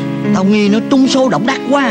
Và anh nằm khỏi tốn tiền. Ủa Nói vậy đây là nhà thương thí hả? Không phải thí Nhưng ảnh là bạn thân của bác sĩ giám đốc dưỡng đường này đó. Bác sĩ? Sao nghe bác sĩ của tôi nhộn vậy ta? Bác sĩ nào vậy cô? Dạ bác sĩ Tùng sĩ Tùng Tùng nào vậy cả à, Có phải đa khoa mắt mũi không? Dân Bác sĩ Tùng tới rồi kìa. Ý Tùng nữa hả? Đi tới tôi trốn Ủa cậu phố Cậu hết đau mắt hột chưa? Hết rồi khỏi rồi ch- chữa rồi. Ủa hết rồi sao hai tay còn bịt mắt làm chi vậy? Ừ. À cô Lan Dạ. Sửa soạn dụng cụ để tôi mổ bệnh nhân mới tới nha. Dạ. Đừng mổ không có đau mắt mà mổ cái gì. Trời ơi có mổ cậu đâu cậu la. Ủa vậy hả Dạ cậu làm gì cậu chạy dữ vậy? Nghe nói cháu ở đây nè Cậu sợ cháu làm mẫu như hồi trước ở nhà ông bà Tham đó. Cậu tính cậu chạy trốn đó. Bữa đó cậu nháy mắt ra hiệu cho cháu đừng nói nữa. Cháu nhà đè cậu ra khám mắt à. Bữa đó cháu đâu có về. Tưởng cậu đau mắt thiệt chứ. Nè ngồi đi cậu. Ủa còn cô Cô gì mà tôi quên mất tên rồi? Chùa. Dạ, Ủa dạ. đình đình đình À cô Đình. Dạ. Hồi đó ở Quy Nhân đưa tôi vô rồi đưa tôi ra đây nè đúng không? Dạ, à, dạ chào bác cô. sĩ. Dạ. Cậu Ừ? Hỏi thăm đi. Ý quên nữa chứ. À, Cháu ơi Hàng mặt tử bệnh làm sao đó cháu? Dạ cậu còn ở đây chơi lâu mà cậu. Làm sao mà ở chơi lâu được? Cậu phải về nhà lo nhà cửa nữa. Có Mai Đình nó ở đây nè. Cháu Nó bệnh sao? Cháu nói với Mai Đình Để Mai Đình nó lo Dạ ảnh đau bệnh ờ. Trời ơi, đau bệnh, Hai cái nó giống nhau rồi. Bệnh gì thì nói tao nghe đi. Sao mày cứ nói lôi thôi? Tao hiểu không ra. Nó bệnh hay đau thì cũng phải nhờ mày. Tình bạn lâu năm thâm niên, cố đế Số kiếp. Nó nghèo, cháu được giàu sang. Nó đau bệnh mà cháu muốn dâu bằng Ảnh nóng lạnh hoài và như tủy nhức xương Ê, ẩm cả mình Cháu đoán bệnh hoài mà chưa ra. Nó bị ban cua hồi nhỏ một lần. Nó đâu có luôn tuồn mà một tuổi một xương. Xin cậu chớ lo Cháu hứa tận tâm. Thử máu cho anh sẽ biết bệnh tình. Kết quả y khoa phân loại di trùng trong máu Sài Gòn phân tích. Sẽ biết bệnh ngày, Còn bây giờ thì cháu đành chịu bó tay Căn bệnh lạ lùng từ trước tới nay. Chưa gặp lần nào cháu cũng nghi nghi. Chúng tôi ở xa nên trong sự cây nhờ. Bác sĩ tận tình chữa trị giùm anh. Cậu Phú và cô cứ an tâm đi. Ở đây tôi có đủ khả năng chữa trị mọi căn bệnh Ngoại trừ những căn bệnh di truyền Như Thưa là bác sĩ Có rồi Viện Bách Tư Sài Gòn có gửi ra giấy xét nghiệm về bệnh trạng của hàng mặt tử. Trùng ha sen.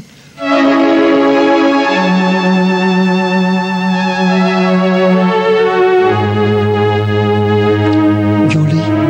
Vô lý thật. Cô Lan. Dạ. Bác sĩ Hậu còn ở trong phòng khám bệnh không cô? Dạ còn. Nhờ cô mời bác sĩ Hậu lên phòng thí nghiệm gặp tôi ngay bây giờ nha. Dạ. À à. Anh này cô Lan nè. À, à cậu Phú Cậu theo cô Lan vô trong phòng của hàng mặt tử chờ cháu một chút nha. Dạ mời ông.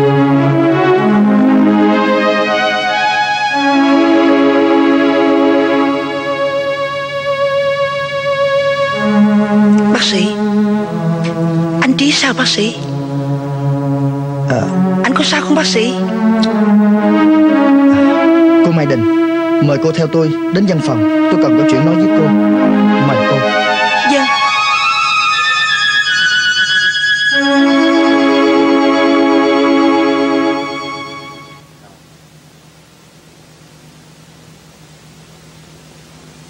Mời cô ngồi. Cô Mai Đình Trước khi nói chuyện này với cô Tôi khuyên cô hãy bình tĩnh Hết sức bình tĩnh và can đảm Để nghe tôi nói cô nhé. Vâng. Tôi biết cô là người có nhiều cảm tình với anh Hàng Mặt Tử Nên tôi mới mời cô vào đây Để nói riêng cho cô biết chuyện này. Sau khi thử máu Thì kết quả Cho biết trong máu của anh Hàng Mặt Tử có di trùng ha sen Tức là di trùng của bệnh phong cùi đó.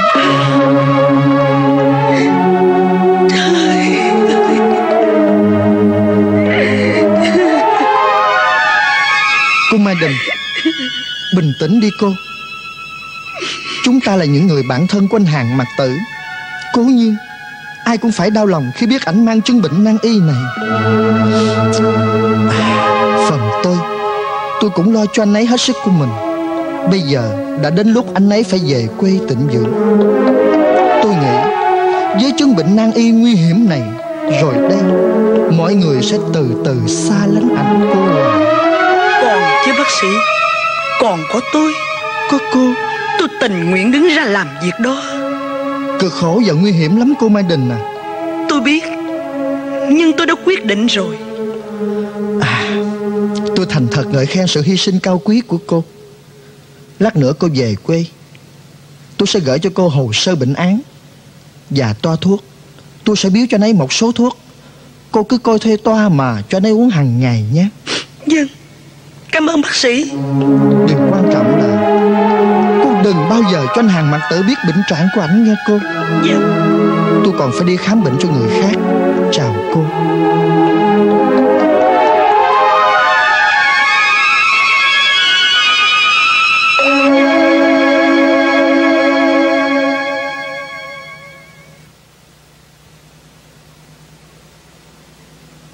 Thế nào? Anh bằng lòng cho phép em về rồi chứ? Nếu cần em cứ về. Còn bảo bằng lòng thì à, Anh không muốn xa em dù một bước. Nhất là sáng nay Anh cảm thấy trong người anh bớt đau đớn nhức nhối so với tuần trước. Ngược lại Mỗi lần thấy anh đau nhất Là tim em như đau buốt. Đã qua rồi em à. Ngày ấy đã qua rồi em à. À Như anh có cảm nghĩ rằng Đây là một thời kỳ ủ bệnh của anh Cũng như ngọn đèn sắp tắt nó lé lên Nó phực cháy để Anh Anh đừng nói. Thôi anh không nói nữa.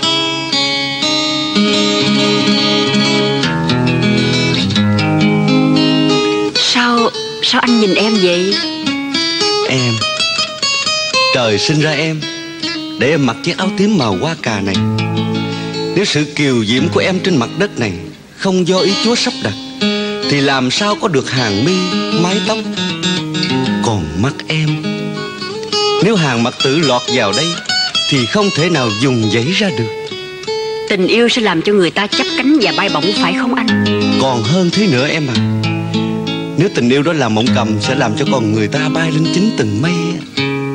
Anh Bao lâu rồi mình không đi dạo bãi biển Quy Nhơn anh hả? Đã hai tuần trăng rồi em. Hai tuần rồi Em hy vọng tuần tới mình sẽ đi dạo trên bãi biển. Thôi bây giờ em về ha. Tuần sau rồi em gặp lại anh. Những gì của tuần tới Cô có thể nói hết hôm nay. Vì theo lệnh bác sĩ Từ giờ phút này cấm mọi sự thăm viếng. Tất cả hay là Dạ chỉ đặc biệt dành cho những thân nhân Có người bệnh nằm ở phòng đặc biệt. Anh nằm phòng nào? Dạ à, Dạ xin lỗi cô Lan chứ. Dưỡng đường này có mấy phòng đặc biệt gì cô Lan? Dạ có một phòng duy nhất. Và ngoài thi sĩ ra Không có một bệnh nhân nào được nằm ở phòng đó Cô nói thế có nghĩa là cô cấm tôi. Dạ thưa Đó là lệnh của bác sĩ. Tôi chỉ là kẻ thừa hành. Tôi cần gặp bác sĩ Tùng. Hiện giờ bác sĩ Tùng đang nghiên cứu về bệnh trạng của anh. Và anh cũng đang ở trong tình trạng giới hạn tới mức tối đa về sự tiếp xúc với người mạnh khỏe. Dạ thưa cô Cô nói thế có nghĩa là sao? Tôi như thế nào mà phải ngăn cấm phải Vì à, nghề nghiệp của một y tá Không cho phép tôi được nói những gì tôi có thể nói. Nhưng tôi cũng có thể cho anh biết rằng Kể từ hôm nay anh không có quyền tiếp xúc bên ngoài. Đó là lệnh trên của bác sĩ, xin anh hiểu dùm cho. Bệnh tình tôi thấy giảm bớt, Không còn đau đớn nhức nhối. Đâu có lẽ nào Nghe cô nói tôi lại càng hoài nghi.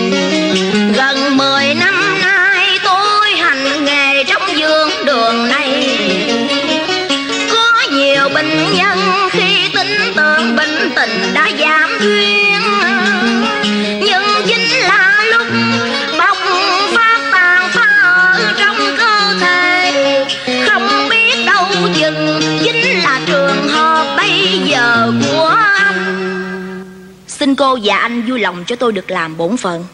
Vừa rồi cô bảo cho phép tôi được nói những gì mà tôi sẽ nói ở tuần sau. Vậy tôi xin cô cho tôi nán lại phút giây để nói những lời nói đó với hàng mặt tử Có tiếng chuông ngoài phòng trực gọi tôi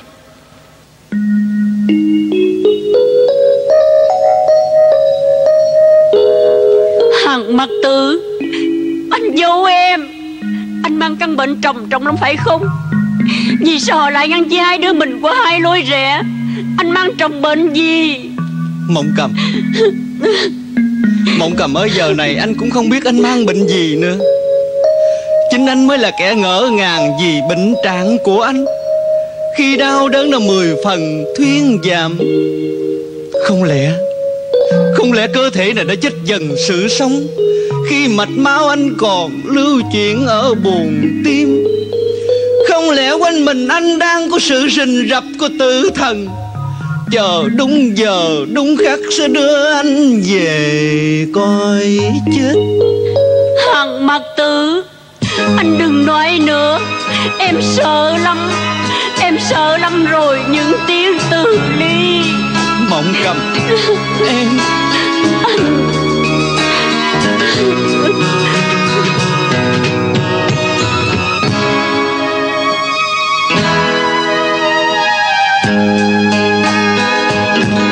Buồn ơi hai tiếng từ ly nào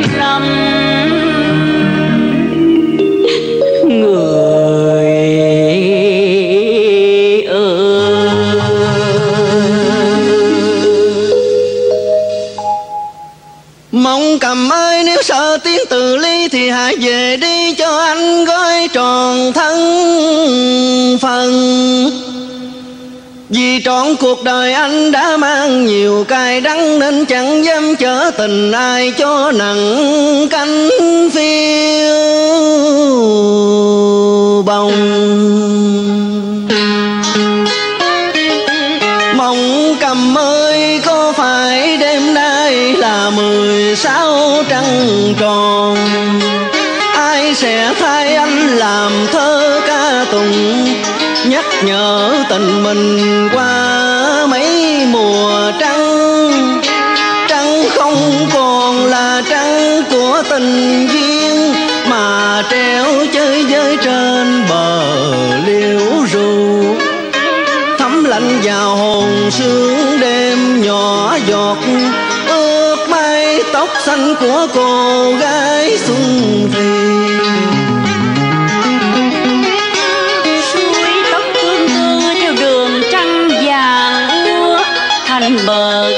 dài đưa lối đến tình yêu.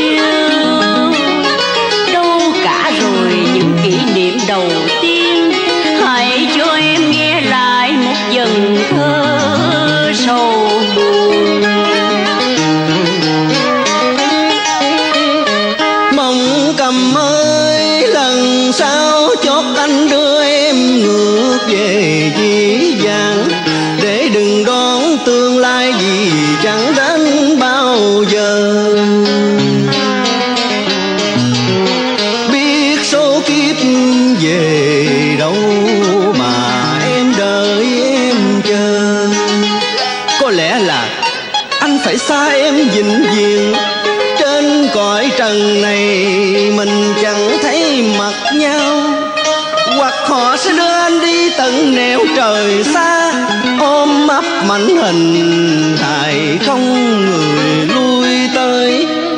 Thì mong cầm ơi, đây là giây phút cuối. Thay tiếng ta từ rồi đoạn tùy tình buồn. Mong cầm, thôi thì những bài thơ anh làm tặng riêng cho em đó. Em hãy xem như di vật cuối cùng anh để lại cho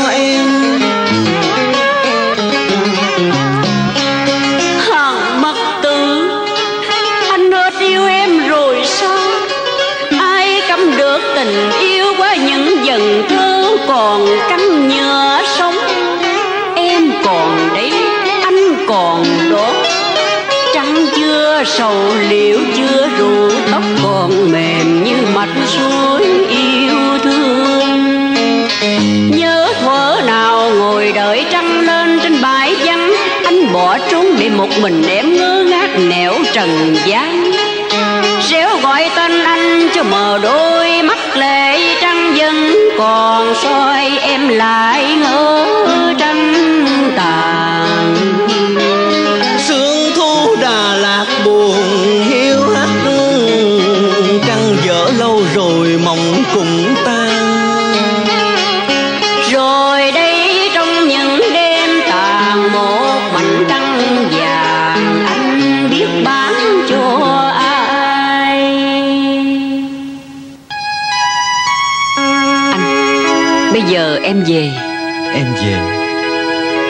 Sẽ trở lại gặp anh.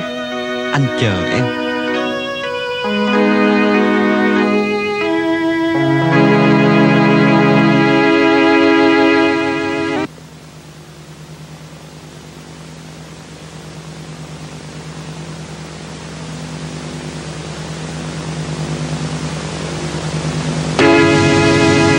Anh hàng mặc tử. Kìa hồng sương sương bây giờ là à, là một nữ tu đã gửi lòng tin cho đức mẹ. Thật tôi không ngờ. Phải anh ngờ sao được? Cũng như làm sao anh ngờ được hôm nay có một dì phước vào tận dưỡng đường để viếng thăm bệnh nhân hàng mặc tử? Nhưng tại sao tại sao hồng sương lại lại đi tu có phải không? Tôi đã giữ lời hứa với mộng cầm tôi sẵn sàng nhường tình yêu cho nó để tình dì cháu luôn còn nguyên vẹn. Xin Hồng Sương hiểu cho. Dù là thi nhân Tôi cũng chỉ có một trái tim. Không thể nào chia năm xẻ bảy. Tôi hiểu anh Và tôi tin rằng Giờ này anh cũng đã hiểu tôi. Thôi Xin chào anh Và chúc anh mau bình phục. Hồng Sương. Hồng Sương đi dội như vậy sao Giữa chúng ta không còn gì để nói. Anh hãy giữ kỷ niệm đẹp ấy vào tâm hồn Nếu anh cho là đẹp. Còn tôi Tôi đã có nguồn an ủi.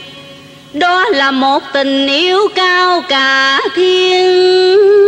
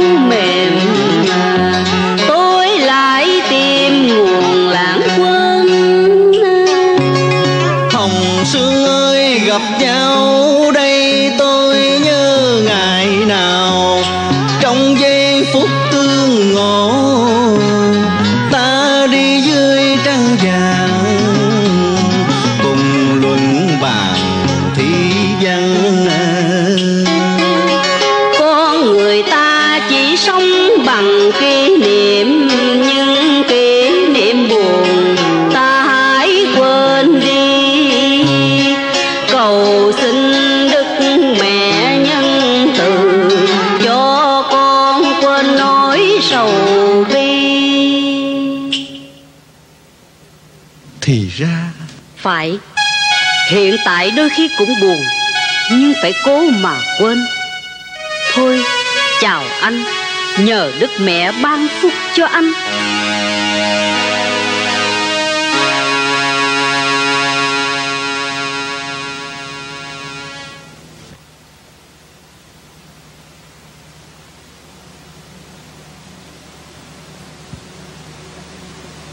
Hàng mặt tử, Hôm nay mày thấy trong người có khỏe không? Tùng, Mày nghe tao hỏi, Tao đã gần chết rồi phải không? Tim ông tao đã tan nát hết rồi phải không? Tao đã lao tổn đến ngày tàn rồi phải không? Tại sao? Tại sao mày chữa trị một bệnh nhân Mà mày không cho bệnh nhân biết nguyên nhân của bệnh trạng? Tại sao mày ngăn cấm tất cả mọi tình thương đem đến? Tùng Mày là bạn của tao Hay mày là tình địch của tao rồi? Hàng mặt tử Mày điên rồi Điên rồi. Tao điên Tao điên.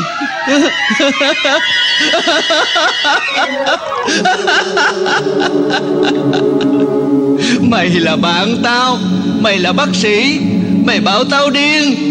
À, à, à. Tùng ơi tao điên. Tùng Tao điên mà tao còn nhớ đến tên của mày. Đây Thì chưa phải là tao điên. Tao còn nhớ tên tao thì chưa hẳn là tao điên. Tao còn biết có hai gì cháu yêu, Chỉ có một tình yêu, Mà người yêu ấy lại là tao một người hy sinh thân phận, nhường cho cháu trọn hưởng niềm vui. Nhưng niềm vui vẫn không trọn vẹn. Mày là bạn tao, lại là bác sĩ. Mày giấu quanh không cho tao biết bệnh gì. Còn mày mày yêu hồng sương mà không nói thẳng với nàng. Mà mày mày lại nói với tao rằng với nàng là đôi bạn chi thân. Thiệt Tao rất xót đau nhưng Tao khuyên mày đừng nghĩ dơ dẫn Mà dao động tâm thần. Mày càng khuyên tao càng thấy tuổi thân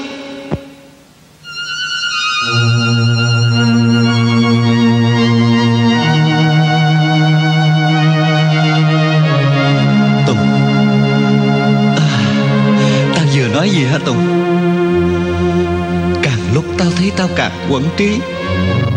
Mày Mày đừng buồn tao nha Tùng. Mày về phòng nằm nghỉ đi. Ở ngoài này sương xuống lạnh.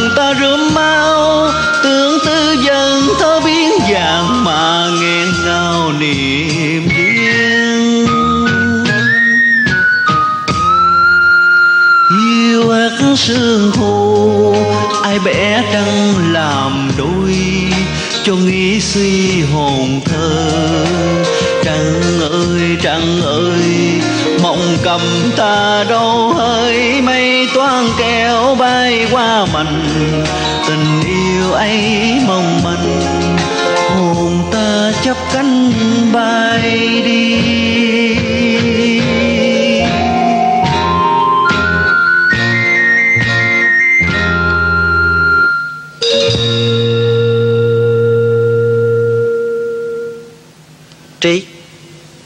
Mày tỉnh rồi phải không?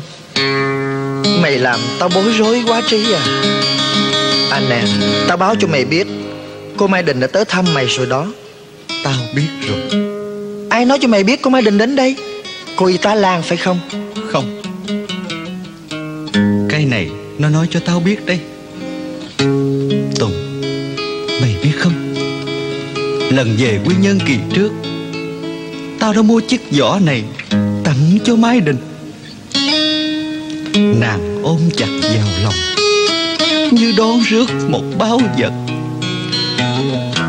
À, à, à, Tao còn nhiều bệnh nhân chưa khám bệnh Tao phải đi gấp. Thôi xin lỗi nghe Trí.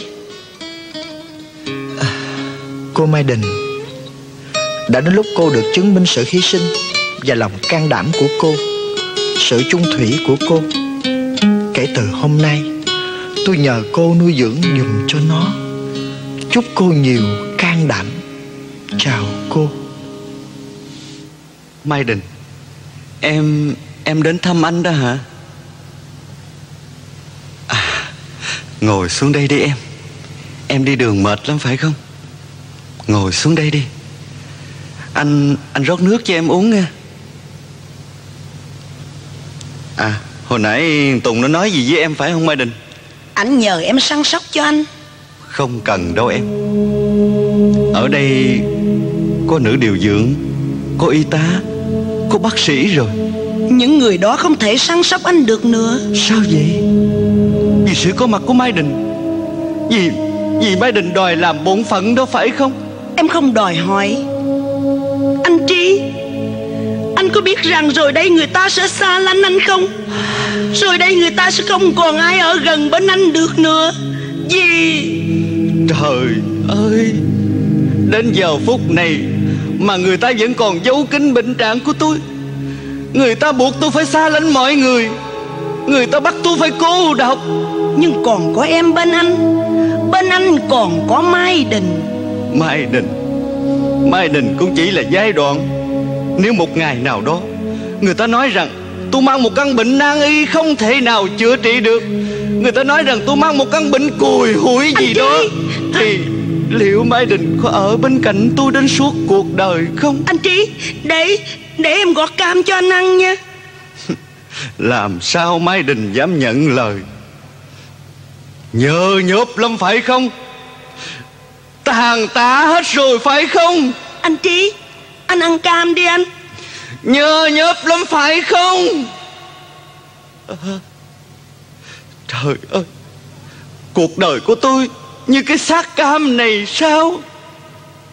Anh Trí Hy sinh cái gì? Tình nguyện cái gì? Thế gian này là giả dối hết. Hãy về đi Hãy để cho tôi yên. Về đi. Anh Trí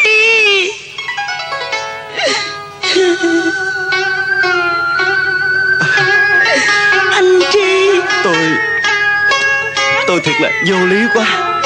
À, Anh anh thành thật xin lỗi Mai Đình nghe Dù sao thì Mai Đình cũng từ quy nhân khăn gói lặn lội vào đây đi thăm anh.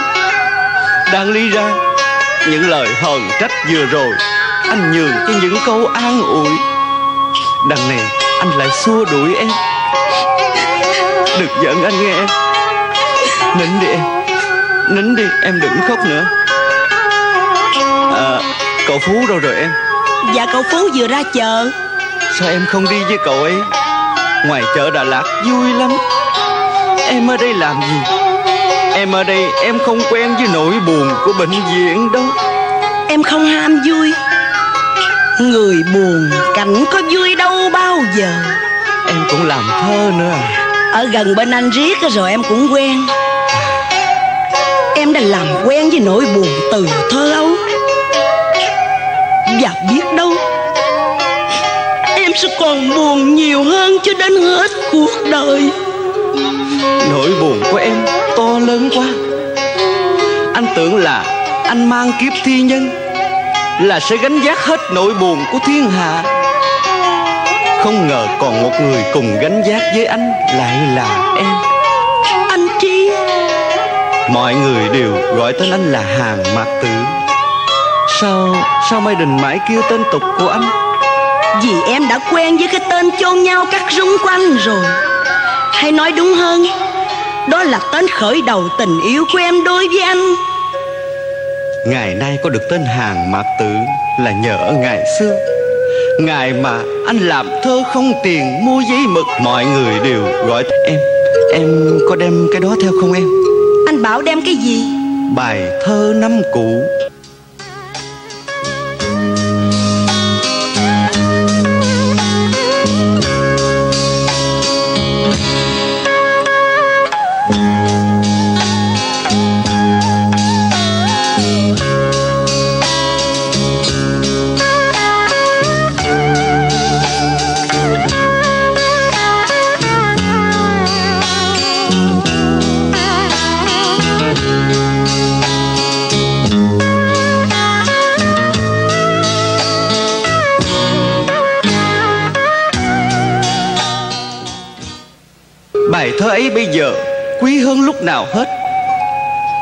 xem lại nó. Cũng như anh muốn nhìn lại khuôn mặt của em năm năm về trước.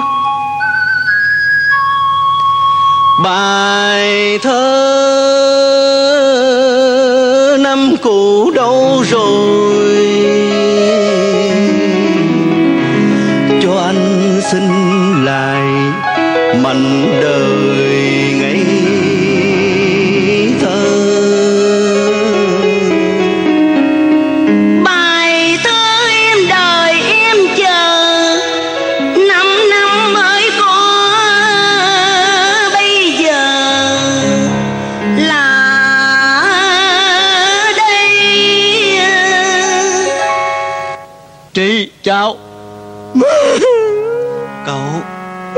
gì cậu khóc gì cậu? Cậu phú. Nhớ mày quá Thấy mặt mày Tao mừng nước mắt nó chảy rồi. Cậu phú cậu đi đâu mà cho tìm cậu từ nãy giờ vậy?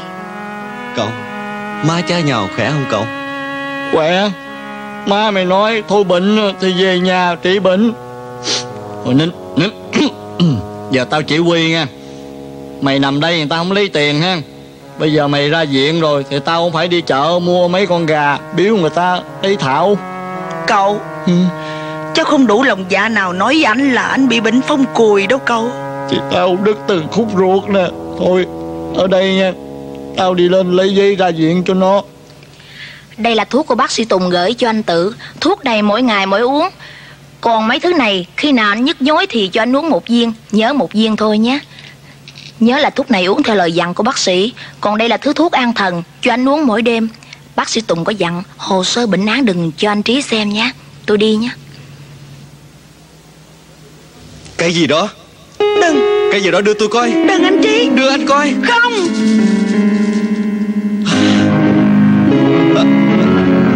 Chúa ơi Chúa ơi Chúa đã trừng phạt con rồi. Anh trí. Tại sao? Tại sao người ta không dám nói thẳng với tôi là tôi mắc bệnh phong cùi Tại sao người ta đưa giấy kết quả khám nghiệm cho Mai Đình mang đến? Tại sao? Tại sao? Anh Trí ơi, từ nay anh không còn sợ cô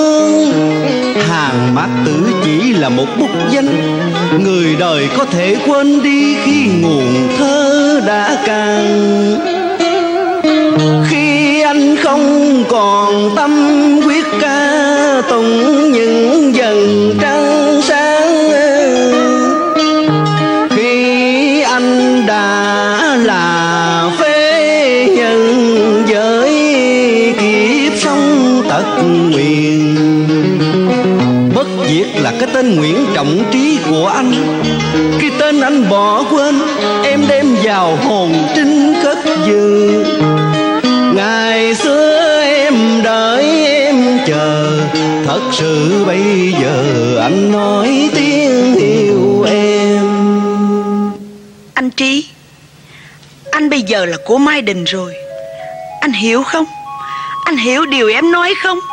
Mai Đình em. Anh Trí. Thôi chút chút vậy thôi. Về đến quê hương mặc sức tâm tình. Chuẩn bị đi đi con. Đúng 12 giờ trưa nay tàu chạy rồi đó. Cậu Nhưng bây giờ làm gì có xe lửa hả cậu? Nói vậy tao mướn xe lô ca xăng rồi. Thôi chuẩn bị đi đi. Bác sĩ Tùng đợi cháu ở ngoài ga.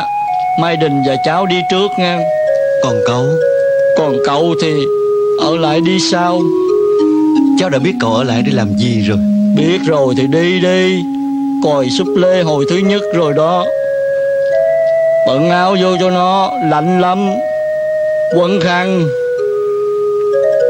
Rồi vỏ để tao. Đi đi. Đi anh Trí. À thôi đi em